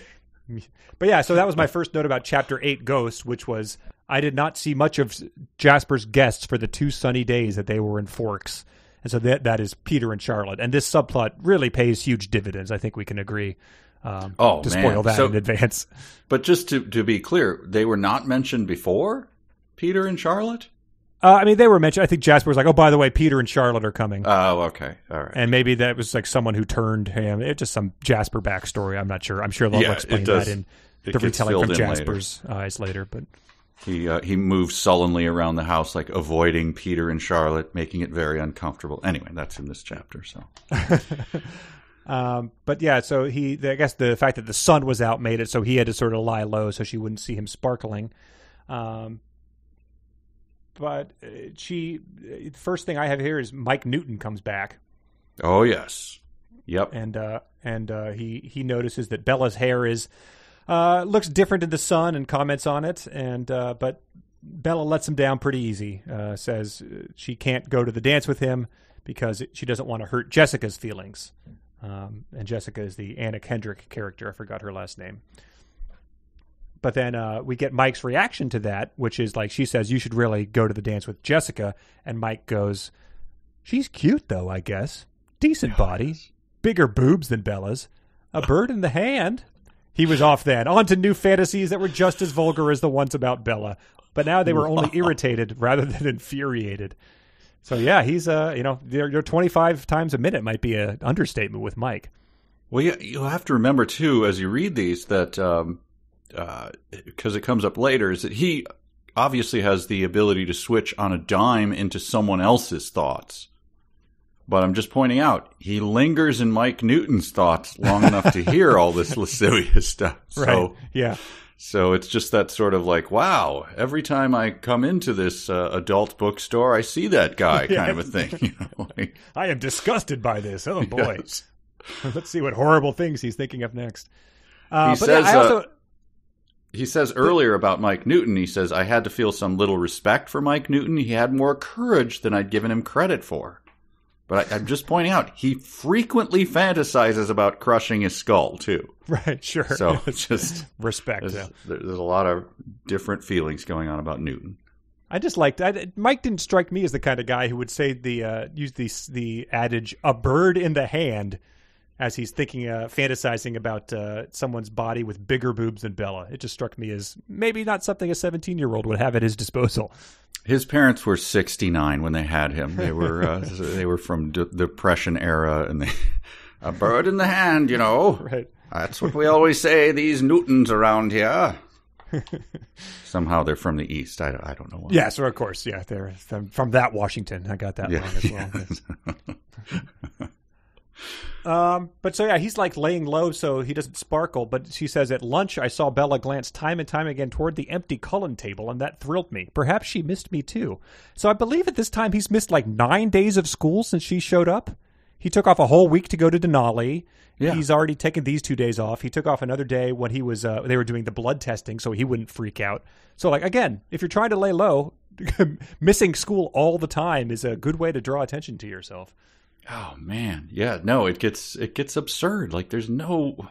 Why would anyone think they do- they don't go to school? They're obviously in because in the movie, don't they? The uh, brothers and sisters are always like making out and stuff, and people are going, "Wow, they're a weird family." Yeah. So Like, that's yeah. Also, they show up like one quarter of the time that school is in session. So Yeah, I feel like in my like high school, it was like you know ten unexcused absences, and you're like done, like you're repeating the grade type of thing.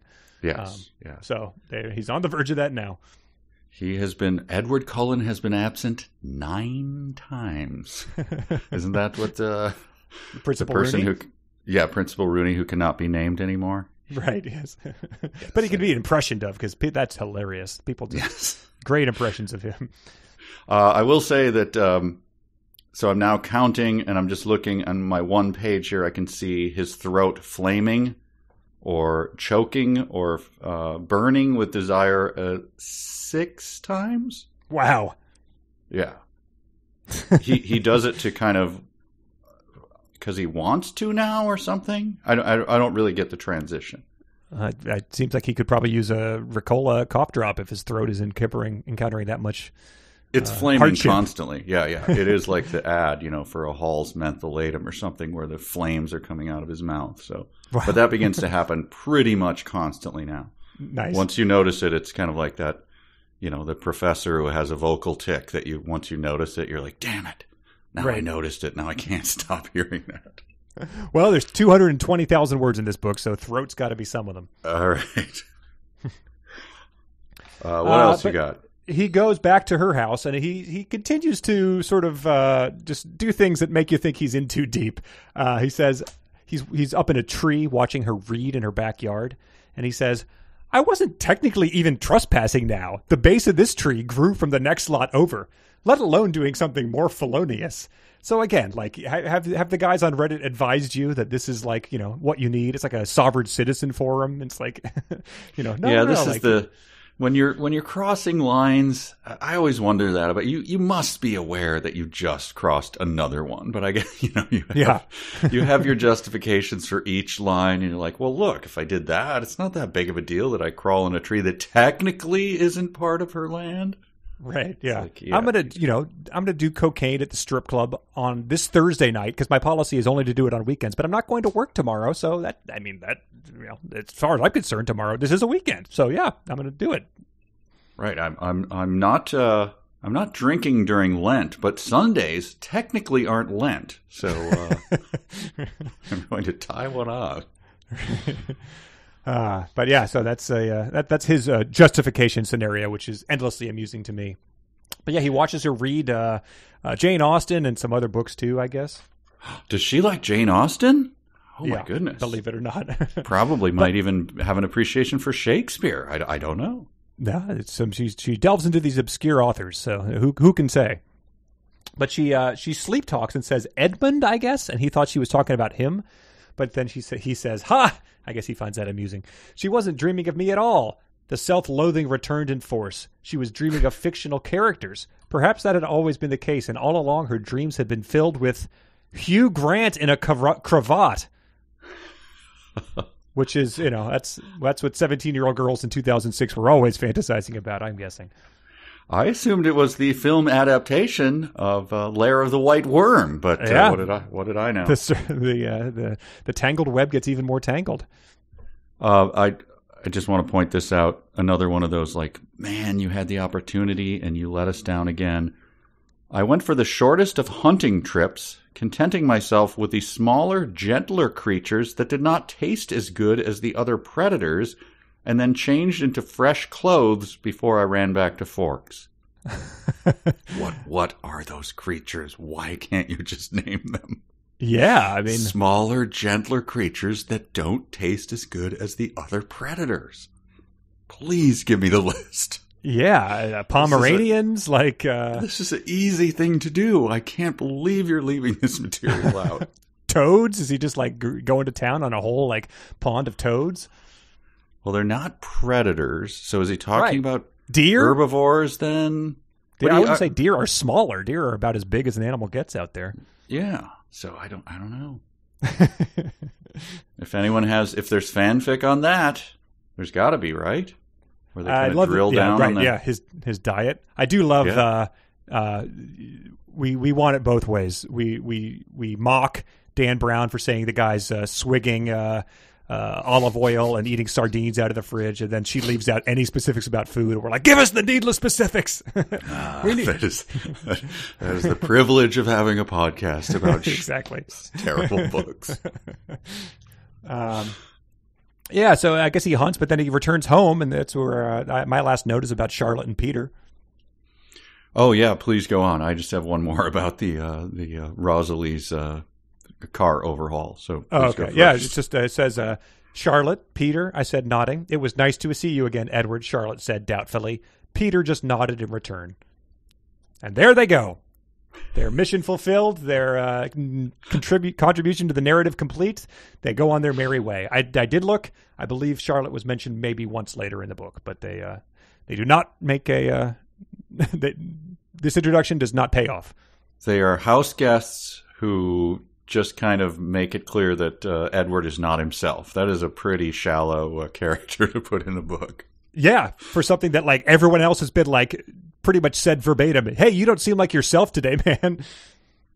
And but they do make one other mention. Is that maybe just an introductory, uh, uh, as clumsy as it is? They say, "Hey, if you see, uh, you know, uh, Jenny, tell her I said hi." And he's like, "Yeah, I don't think so. She had turned, you know, she had turned Oh, him yeah, or whatever." Yeah, yeah.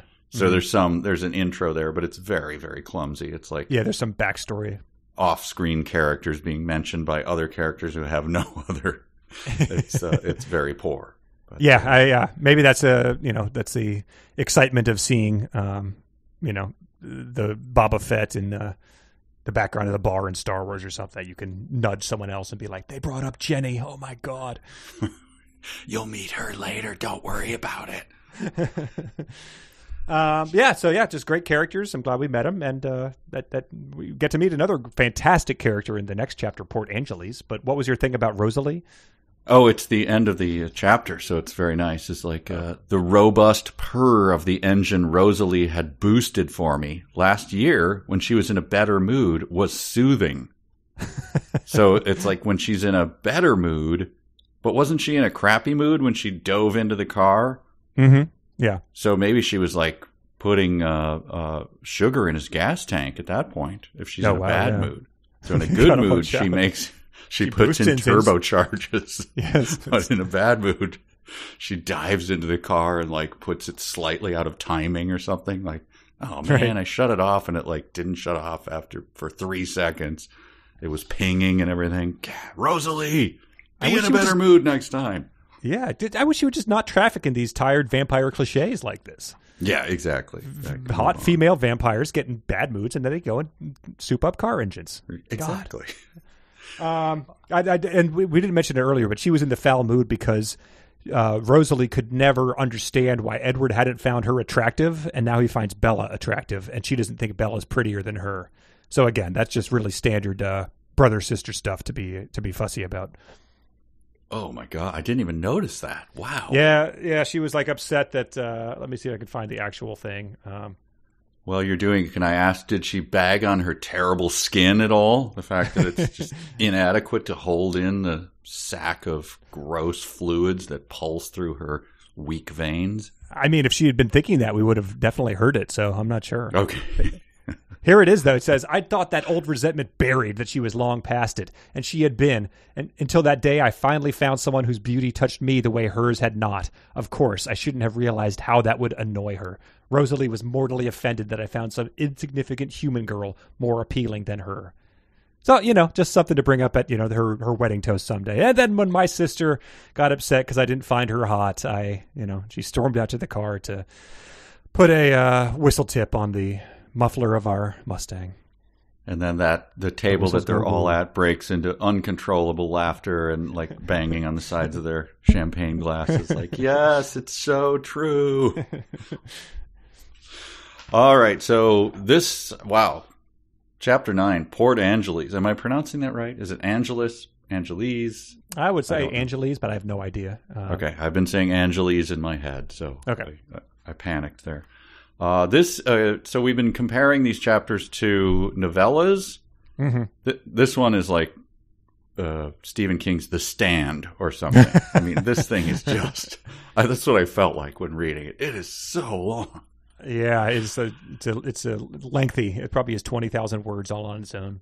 To describe a girl going to buy a dress with her friends and then having a a- Having dinner. a- having a pretty minor incident, and then yeah, it is amazing. But uh, let's dive in. Let's do it. Yeah. So I just so off the top, I had to look it up. Uh, Port Angeles is a town of nineteen thousand people, um, and it is like about halfway between Forks and Washington, on the coast, I guess.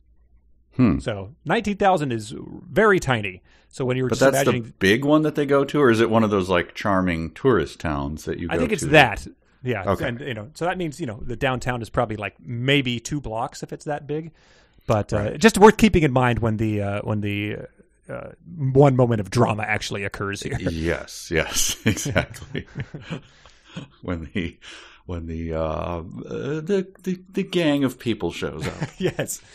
Uh, but yeah, so she's uh, going to buy dresses for the dance. Uh, I'm unclear about whether the uh, Sadie Hawkins dance has already happened or if the prom is now something they're concerned about. Because Tyler Crowley seemed he was confident that she would take him to the prom, but you know, she he didn't care about the Sadie Hawkins dance because prom was coming up soon. So maybe they just have a dance a week in this town.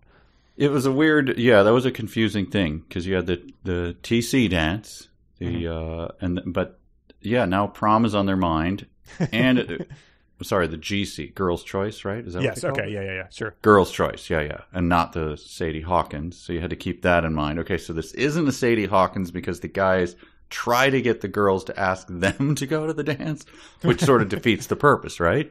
Right. But But, these guys uh, are but- not the brightest or coolest guys, so who knows?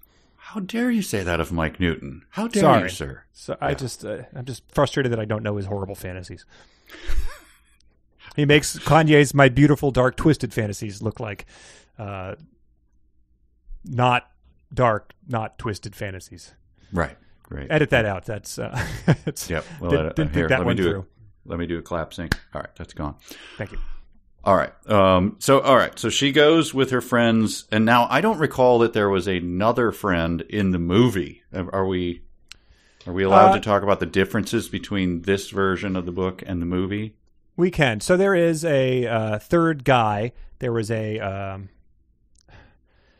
there was like a, a.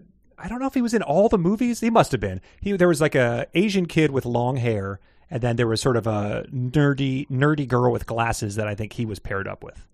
Oh yes, yes. Do you remember yes. this? Now I remember. Yeah, she had like granny glasses on. Yep. Yes. Uh huh. So I, this must be her uh, because otherwise, you know, I don't know who it would be. Um, Right. But Okay. yeah, so Jessica and Angela are the people that she's uh, traveling to Port Angeles with. And, And, this is uh, the this launched the career of Jessica. What's what's her name? The actress Anna Kendrick? Uh, Anna, Anna Kendrick. Yes. Yes, I believe so. I mean, uh, she who knows? She could have been in some Disney Channel thing or something. But yeah, again, you you saw this person, and it's like, well, like no one's going to see this movie, so this is not going to affect us. And then I think by the time the fifth one came out, she was like in you know Oscar nominated movies and you know wildly successful franchises, but then still had to show up to uh, you know Breaking Dawn Part Two and like make eyes at Mike Newton. Right. Yep. She had like you know 30 million Twitter followers. Got paid for every tweet she did. Uh, yep. And then this poor dope who's like, "Hey, Arizona, how do you like it?" Like, shut up. God damn it. Just yeah. Sorry, uh, George Clooney is calling me. I've got to. um, but yeah, so so Edward is sort of reading their thoughts so he can keep tabs on them. Uh, he says, I was already tired of listening to Jessica. I searched close by for Angela. Ah, but Angela was in the process of changing dresses, and I skipped quickly out of her head to give her some privacy. So a, re- a real gentleman here. He's uh, he's he's retired his three in one oil. He's he's you know renounced those ways. I had uh, again. You have to trust me. My note was, "What a gallant act by the guy creeping on the high, high school girls." ah, I shall cover my eyes, milady. yes. Uh, but then he drives around town because his sun is still out and he can't get out of his car. Um, uh, so because people would notice him sparkling, so he just like drives around town looking for someone else, thinking about Bella as if he's like trying to find an open Wi-Fi signal or something. Yeah, I, I kind of, I actually admire the. I mean, I don't, I don't know if I admire it is the right word, but the Yeah, limitation. these words carefully. Yes, I know the the limitation that he has. I find very comical. I'm trying to think of like another because he's the hero here. He's going to he's saving her from something, and we know that. Like I was worried about her. Mhm. Did she scrape a knee? Did she, you know, Stray uh, bear. Yeah, she walked past that uh, the hardware store where they hang bird feeders out, and she wasn't looking, and she hit her head on one of those uh, angular glass bird feeders. You know, he's like thinking of every. And then when I went to help her, the hardware store guy came out and said, "You're that guy I sold that three in one oil to. How'd that mission go?" What did you say that was for again? Shh, dude, keep it down. Here's another 50. I got to keep one for the restaurant. Uh, but, um, uh, yeah, so, but then his limitation is that he kind of has to, yeah, he has to drive around. And I'm trying to think of any other hero who has that, that weird, very specific limitation. right. Like, yeah, you know, look, I see a cloud. Is it going? Oh, it slipped right past the sun. Damn it! Now I can't. I got to have to watch her being eaten by the stray bear. It's very. Right. It's it's a weird limitation. but it's also gave me pause because essentially all right i'll just read this but uh, he, he reads some thoughts uh, it's aha here she comes there at last was her face finally someone had noticed her the relief lasted only for a fraction of a second and then i read more fully the thoughts of the man who was gloating over her face where she hesitated in the shadows so he's keeping his distance because the sun is still out but this guy and his his drunken buddies as her friends are sitting down to a dinner, are are planning to do some sort of hor- horrible assault in in broad daylight in this town of nineteen thousand, so like a four square block town. Yeah. So you probably have the uh, you have the restaurant that's you know barely making it, but is coasting on its reputation. It's like it's small. It's in this old mansion, but it's really Yeah. good food. The chef was brought in from Seattle. Yeah, they And got the next best lobster bisque, and it's clearly coming out of a big, just plastic uh, bucket of lobster bisque, from Sysco. Yeah, but they're coasting on their reputation that this is a historic old mansion, and then next to that is like the dress Saltwater shop. taffy shore. Yeah, Yeah, the dress shop owned by the uh, uh, uh, you know this woman who uh, is a well-known institution in town. Like, oh, I always try to buy stuff from her, and so the parking lot out back has ten slots, right? right. And that's where she is, and yeah, and there's that's a a that's bookstore there. Like, yeah, that's like a Riverwalk area too, where there, you know you can come up the back and have some coffee and buy the book, and so that's that's where these guys lurk, for the, waiting Yeah, to there's like a- attack a, high school girl. there's one of those angel wing murals that you can pose in front of and, and tag it with the right thing. Um, but yeah, so and but but so yeah, they may not be the brightest uh, bulbs uh, in the drawer, but something about it delighted me entirely, and I'm just going to read read it. Their minds around him were not the cesspool that his was. They were all slightly intoxicated, not one of them realizing how far the man they called Lanny planned to go with this. They were blindly following Lanny's lead. He'd promised them a little fun, and I just wrote all caps, ten exclamation marks, Lanny. It's just the uh, for, we, we don't get many bad guys with in, intimidating names in the Twilight series. I think we're going to come across James later, the most sinister vampire, but Lanny is is definitely my favorite character. It uh, it reminded me of a memory. Now I have to ask you. We've never done this live, but I'm going to do it. What is our what is our legal obligation in a podcast if we bring up someone's actual name? Are we liable for anything? Mm, I don't think I mean, anyone I, I could talked about Andrew's John Candy story early, so Okay, yeah. Well, all right. I'll try to leave out a, a detail here. okay. Uh, there there was a Lanny in my life. This is many years ago. No one is ever going to know this, but I'm still going to be slightly circumspect. Who became a boss of mine, and his last name is is a German spelling of a word that, when you look at it, it sounds like you are just saying male genitalia. and I'll leave it at that. But he did not pronounce it that way. But everyone who knew him, because he was Lanny, would pronounce his name like male genitalia Wow. and infuriate him because he was just such a dweeb. But he was a boss to a bunch of people at this factory that I worked at. am I am I being circumspect enough? yeah, that's fine. I don't. And the fact is, no one tracks. ever called him with gave him the respect of pronouncing his name correctly ever, and it enraged him every time. So as soon as I saw that out of the back was Lanny, I, I, you know, your mind flashes to it like, Yeah, oh, well, wow. that's- so Lanny, whoa, yeah, like mean it didn't flash to, uh, dude with no uh, no respect from anyone who is uh, supposedly under him in terms of employment. so anyway, that's my Lanny story.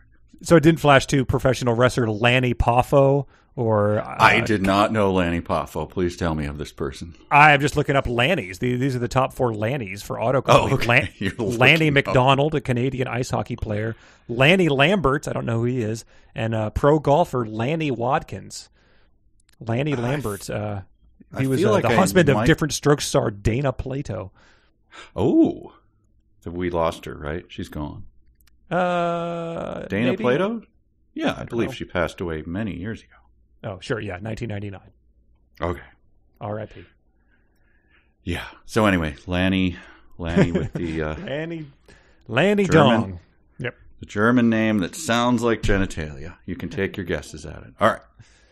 Um, but yeah, so she, he has this theory uh, that, like, essentially she attracts trouble. And he's noticed this by her being sort of clumsy. She stumbles and stuff. And then he expands that theory to be like, well, she stumbles, and then she attracts psychopaths like Lanny who are going to, like, beat her to a pulp in an alley.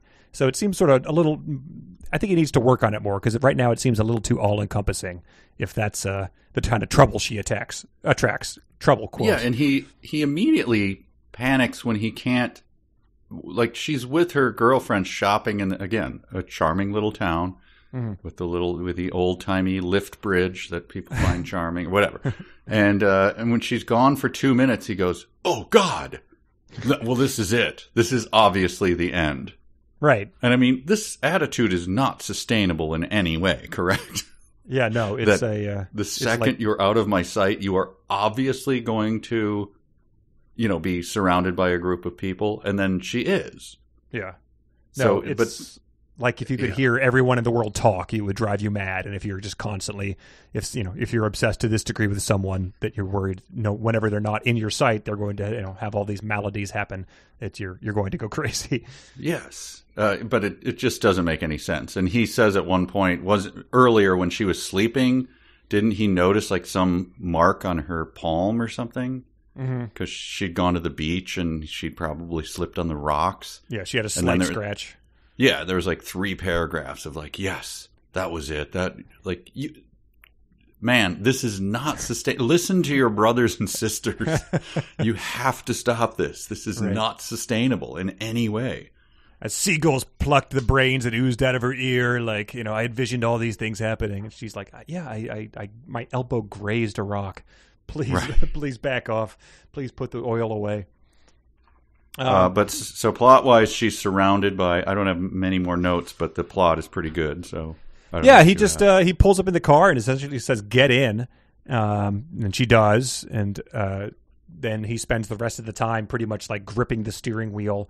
Um, surely she could feel the brutality ra- radiating out of me. Surely that was much that much was obvious. I would frighten her even more if I could not calm the lust for slaughter boiling inside me.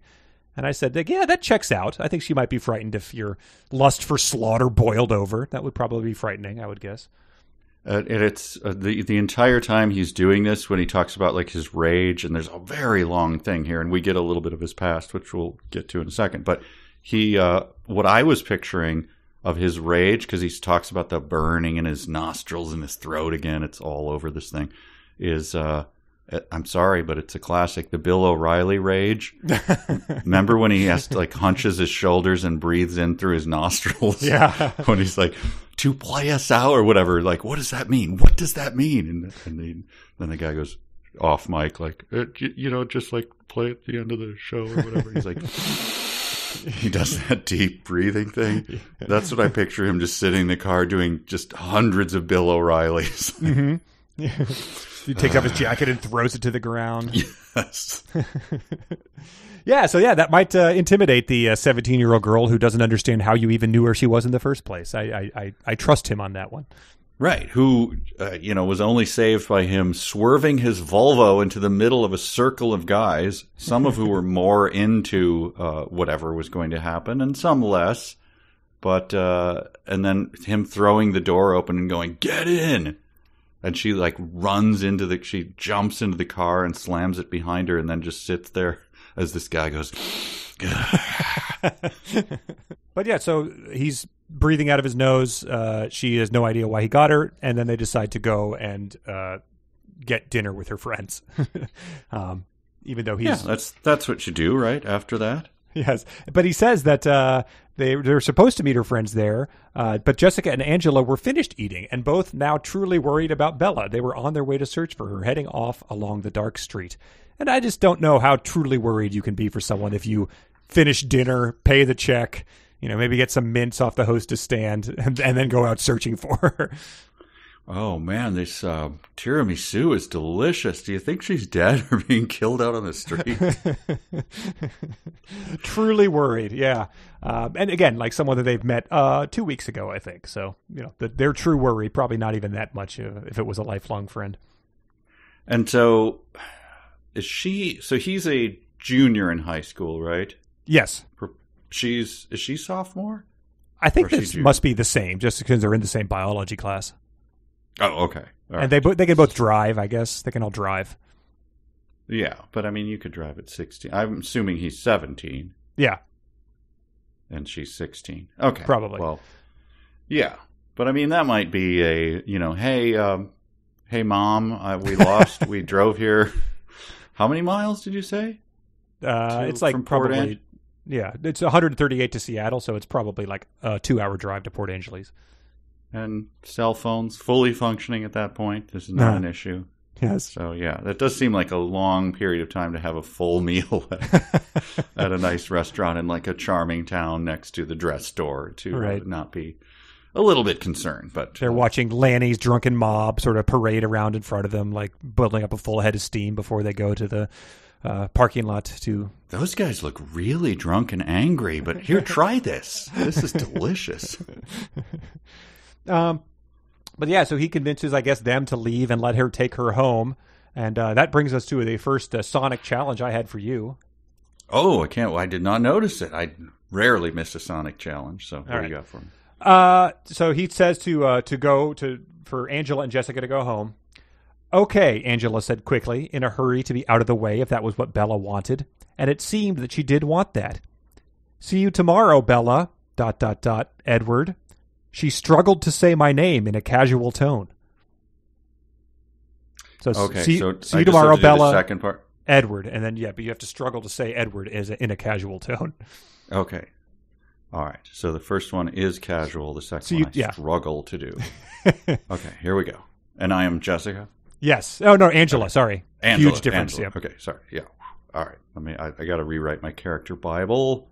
And done. Okay. See you tomorrow, Bella.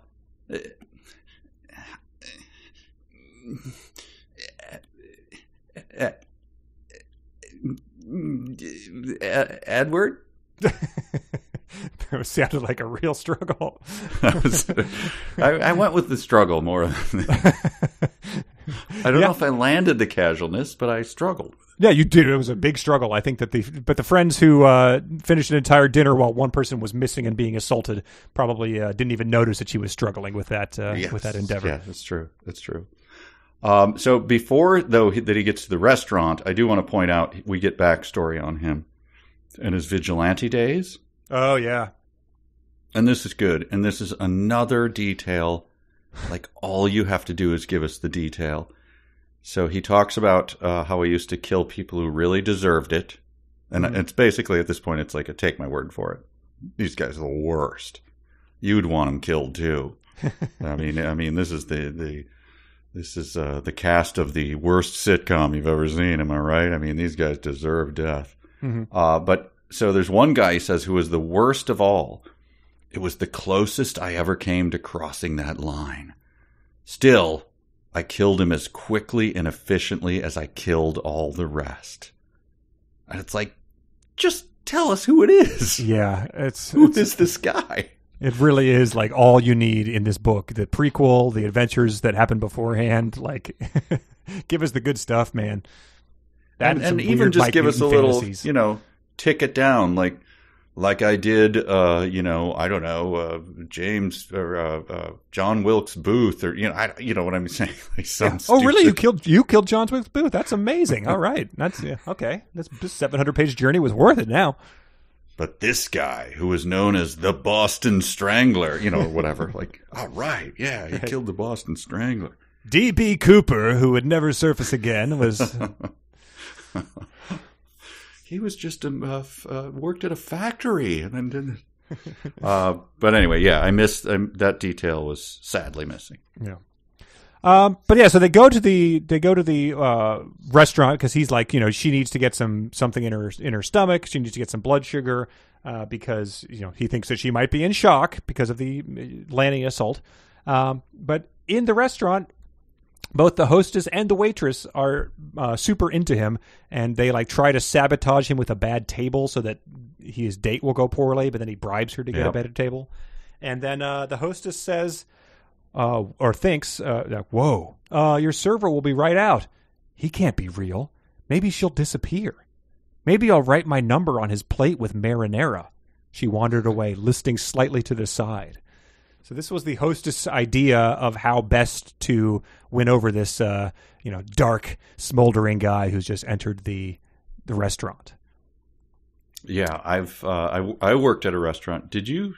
You worked at a restaurant? Yeah. I worked at a restaurant for like two months right after college. Um, You bust? Did you Uh, bust? I, no, I was a waiter. I had. Uh, I Oh, had, you were wait. had an opportunity to do uh, to do this hitting on thing, but uh, I never I never went with the. I worked Huh. at a Mexican restaurant, so it would have been it would have been like nacho cheese on the Oh, side or refried queso. beans. Yeah. I could probably spell. Yeah. Uh, but uh, I, I'm glad I didn't ever try that Sure. maneuver because I actually did some. Um, I went to hire the 372 players, but I, I noticed I thought it was a bank error um, type of thing when it said there was no money left in it. So Oh, I, I'm, sorry. I meant to email you on that. Yeah. yeah, just in the future going forward, it'd be Sure. Sure. to make things easier. So I went, I spent like five hours on the dark web looking to see if anyone had had, had sort of explored Five hours. Okay. Yeah. yeah, um, had, had explored the this waitressing technique. Uh, turns out it happens a lot, uh, but it's not really something that ever goes well. Oh, it never goes well. No, no, no. I mean, it sounds like it would in, not re- go well in recreations on the dark web. on the dark web. Yes. well. Yeah, but you Yeah. have to imagine they're like simulations. They've they've crunched the numbers. They they know how this would play out in real life. Oh, I Like did these- not know that about dark web reenactors, but now that Well, you yeah. mention it, of course that has to be It- true because they want to get it as accurate as possible. Yeah, why would you be wasting your time doing this if it was just sort of some some Yeah, like Lark. slapdash guess. Yeah. let's guess. No. So yeah, of this is the this is the one that I found that I felt was most sort of convincing as to how the experience probably would have gone if we had seen Oh, it okay. happen in Midnight Sun. Got a penne vodka for the two top. Where the hell's the microplane? These truffles aren't going to shave themselves. 86 of calamari. Hey, pastry chef, you got time to lean, you got time to clean. Um, excuse me, chef? If a table of Top Chef fans wants me to pose for a pic, tell them to piss off. We're slammed back here. Oh, no, no, not yet at least. Uh, I was just wondering if I could have a little marinara sauce. In what capacity is the person who stands at the front of the house and asks people if they have a reservation, do you need marinara sauce? Why are you even back here? Who's mine in the store? Uh, a server asked me to help them out. Uh, they have uh, mega diarrhea. Mega diarrhea? Well, that's concerning. Hey, Julie, get this one a ramekin of marinara. There you go. Oh, thanks. It, it doesn't come in like a squeezable pastry bag? Of course it doesn't. You slap it on the pasta sauce by the ladleful. Mushroom ravioli up. Oh, oh. You know what? Uh, Mega D had that table. I'll bring it out to them. I hope it isn't contagious. It sounds extremely unpleasant. Yeah. Let me just see here. Okay. All right. You can do this. Uh, 206 373 4905. Oh, oh God. Oh, oh God. It's very liquidy and spreading fast. Oh, the two's running into the zero. Four and nine merging. The five is indistinguishable from an ampersand. Uh, are you going to bring that out to the table? Uh, uh, uh, they, they wanted a side of Parmesan? Here you go. Now stay out of our way. Okay, okay. If I grate it just right, uh-huh, and then grind some fresh pepper to accent it, gah! The puddle of marinara absorbed it all immediately. Oh, but if I tear into the ravioli and strategically align the mushrooms, oh god, oh, they are much more finely ground than I anticipated. I thought there might be longer slices of mushroom inside, but it's much closer to a paste, and now it's mixed in with the marinara puddle. But what if I place some cannoli on top? Nope, nope. Heat immediately melted the filling, adding to the puddle. But I could pour grappa on top and then ignite it. Oh God! Oh Inferno! Oh, oh. What are you still doing back here? What have you done to that plate? It, it looks like someone mega you know what it on it. Sir, sir, I am horny for a customer, and if you can think of a better way to let him know, I want to hear it. Horny for a customer? Well, that's a horse of a different color.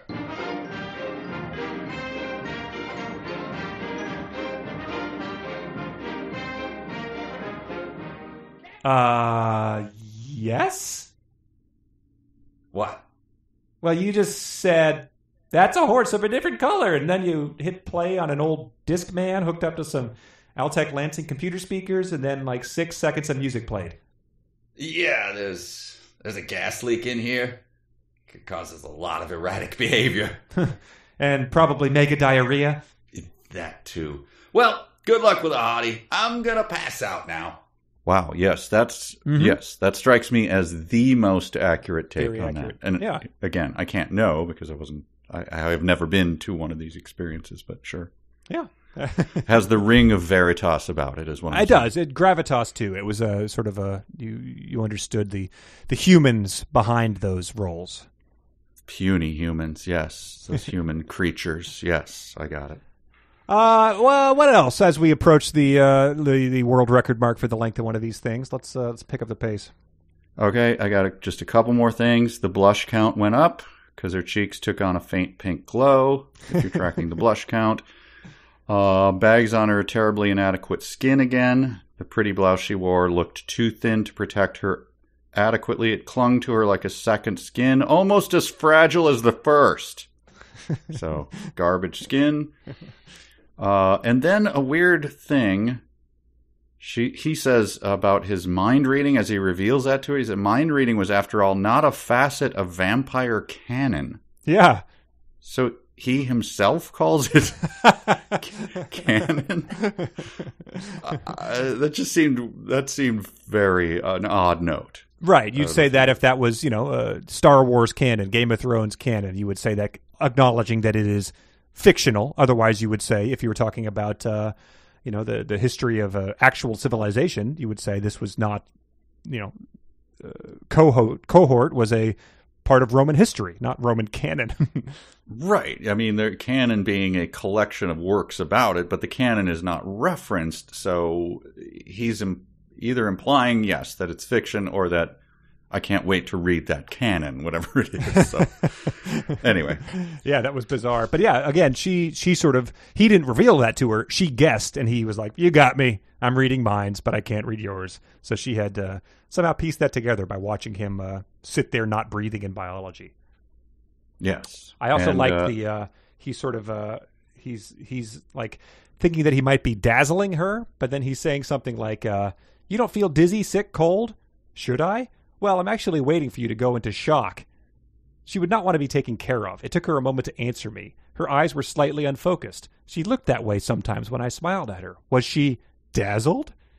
So he goes from uh, worrying that she's going to go into shock from the mob assault he narrowly prevented to then just, you know, typical Mike Newton uh, horniness, uh, hoping that he's dazzling her within the span of three sentences. Mike was uh, coincidentally reading his mind at that point and giving him like the two thumbs up and the giant douchebag smile. Yeah. That's how you do it, man. Um, and then one other thing of just uh, really keeping up his his A plus cover story. He says, uh, "Nothing for me." Bella made a slight face. Hmm. She must have noticed that I never ate food. So like th- that plastic surgery rumors, all the other things. You've just uh, really you might as well just drop out your uh, signed copy of of Dracula or something like that, signed by Dracula. Yes, uh, being at school half time, uh, being the same age as your dad, uh, your brothers and sisters making out in the in the uh, lunchroom. Yeah. Yeah, incognito. Uh, my final note: he had just bagged on her skin, remember, and now her lips, her skin—they look so soft. I wanted to see if they were as velvety as they appeared. I was thinking that they were like parchment paper, Yeah. or you know, tissue, but now, now they're all velvety. Yeah, So, like the sort of uh, the stuff that yeah you bake on is that parchment paper. yeah, Yeah, vaguely Right. Thin, translucent, like waxy. translucent. Yeah, yeah. So anyway, just get it right, Edward. Come on. Yeah. Um, yeah, but I, I think that it's a uh, it, it ends with him uh, driving back to, to town with her, and uh, he worries that uh, she's Persephone, pomegranate in hand, dooming herself to the underworld, and he's Hades, and so that's what's on the cover, that big gross uh, pomegranate that she's holding. So they don't even they don't even leave that for you to wonder about the symbolism of. They just like slam that down your your throat, uh, just in case that was something you were going to miss. I actually didn't. I didn't know the legend of that, so that never, never occurred to me. I didn't either, but like, uh, if you were if you were versed in that kind of stuff, maybe you would have noticed it ahead of time. Sure, sure. Well, All there right. it is. Yeah. that's a, a bunch of words coming at you. So many. Oh my god! But uh, we still have time for a few more. Let's not do any emails. We do need to do some dumb sentences, however. A sentence begins with a capital letter. A capital letter is a letter that's big. A capital letter is not a small letter. A All right, capital dumb sentences of the week. Uh, you probably have more than I do. I think I'm down to only one, and we'll see one if it non-burn. survives. All right. Well, let's do it. This one, the first one is from Colin. I took the final hairpin turn at 90 miles an hour. He says Mario Andretti couldn't do this, and you can't either, Edward. uh, but yeah, I guess vampires they can drive better too. Uh, probably because Rosalie's uh, souping up their engines. This one's from Gina. I wished there was some way I could ask her to continue with the threats of death and bodily harm without sounding insane. She said, I'm guessing there probably isn't. uh, Steve submitted for the second time tonight. I confessed to an intended murder. We have uh, IJC. It was my habit now to simply not breathe at all in biology. Um, so again, the cover story is really, uh, really, really holding up. This one is from Hayden. This one was I didn't notice it, but it made me laugh when they submitted it. The words burst from me stormily. Ooh, That's uh, that's pretty much my immortal right there. yeah. Uh, this one is from Elizabeth. Uh, I leaned against the trunk of a young hemlock and settled in to wait for stray meteorites. Don't, just remember, the meteorites are metaphors, metaphors for stray bears, of course. Yes. Uh, this one was submitted by Augusta and Andrew. I was surprised watching Bella stumble through the day, tripping over cra- cracks in the sidewalk, stray books, and most often her own feet, that the people I eavesdropped on thought of her as clumsy. I think Augusta said, Edward displays a real Susan Fletcher level of genius here as he watches everyone with surprise think that this clumsy girl is very clumsy. Uh, Lucas submitted the rain was pounding down like a million tiny hammers. This has the Dan Brown problem of making an analogy that is so unusual and specific in its imagery that it's more distracting than helpful, he said. Uh, Mike submitted, Her room was small, disorganized and cluttered, but not unclean. And Mike said, Not to go all Marie Kondo, but generally a room that's disorganized and cluttered isn't clean. When someone says, I need to clean my room, they're typically not talking about hosing fecal matter off the walls and chasing out the leper colony that sprung up next to the dresser. uh, Jay submitted, Staring at her mouth made me feel strange. Emily's, yeah. Emily submitted, I did some research on the internet. Uh, she said, I'm not sure how Stephenie remembers, Stephenie Meyers remembers what the internet was like in 20, 2005, uh, it, but it's redundant to say I did some research on the internet. It was taken as read that the internet was going to be part of your research. Uh, we have one from Sam. Again, I had to, I had the instinct to place myself between her and Jessica's angry thoughts. And he says, I have not read the Twilight books. Do they explain how someone places themselves between a person and the subject of their thoughts? I do not imagine they do. We certainly don't gain any insight to that from this perspective. Uh, we have Justin. I'd never paid much attention to a human's diet before. And he said, This guy has multiple medical degrees, right?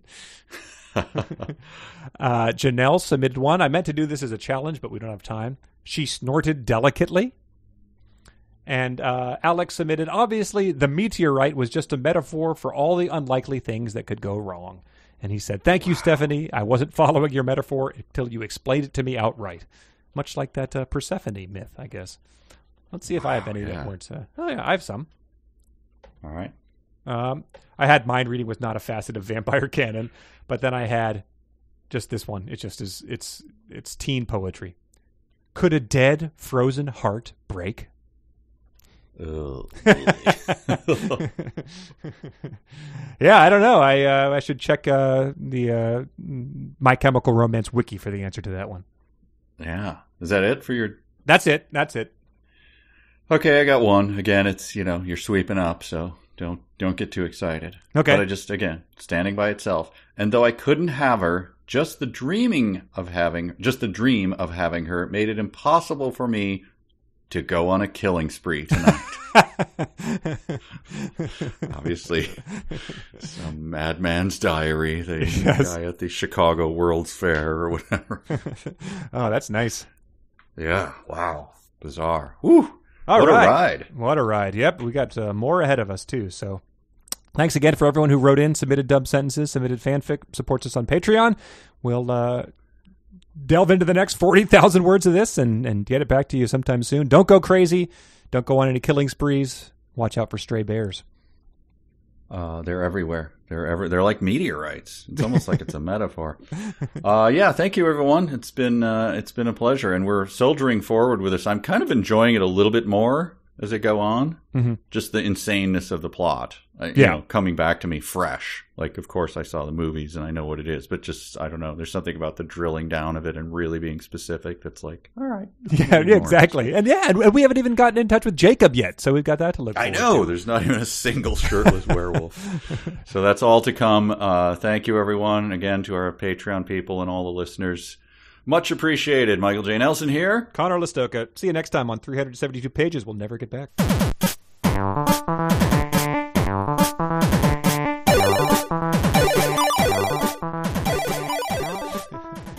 He's like, What's wrong? Are you okay? like, no, I'm not okay. Everything okay? No, it is not. Oh at dear, all. what happened? We're gonna have to. We're gonna have to edit that out. Holy. Lose a glass of something?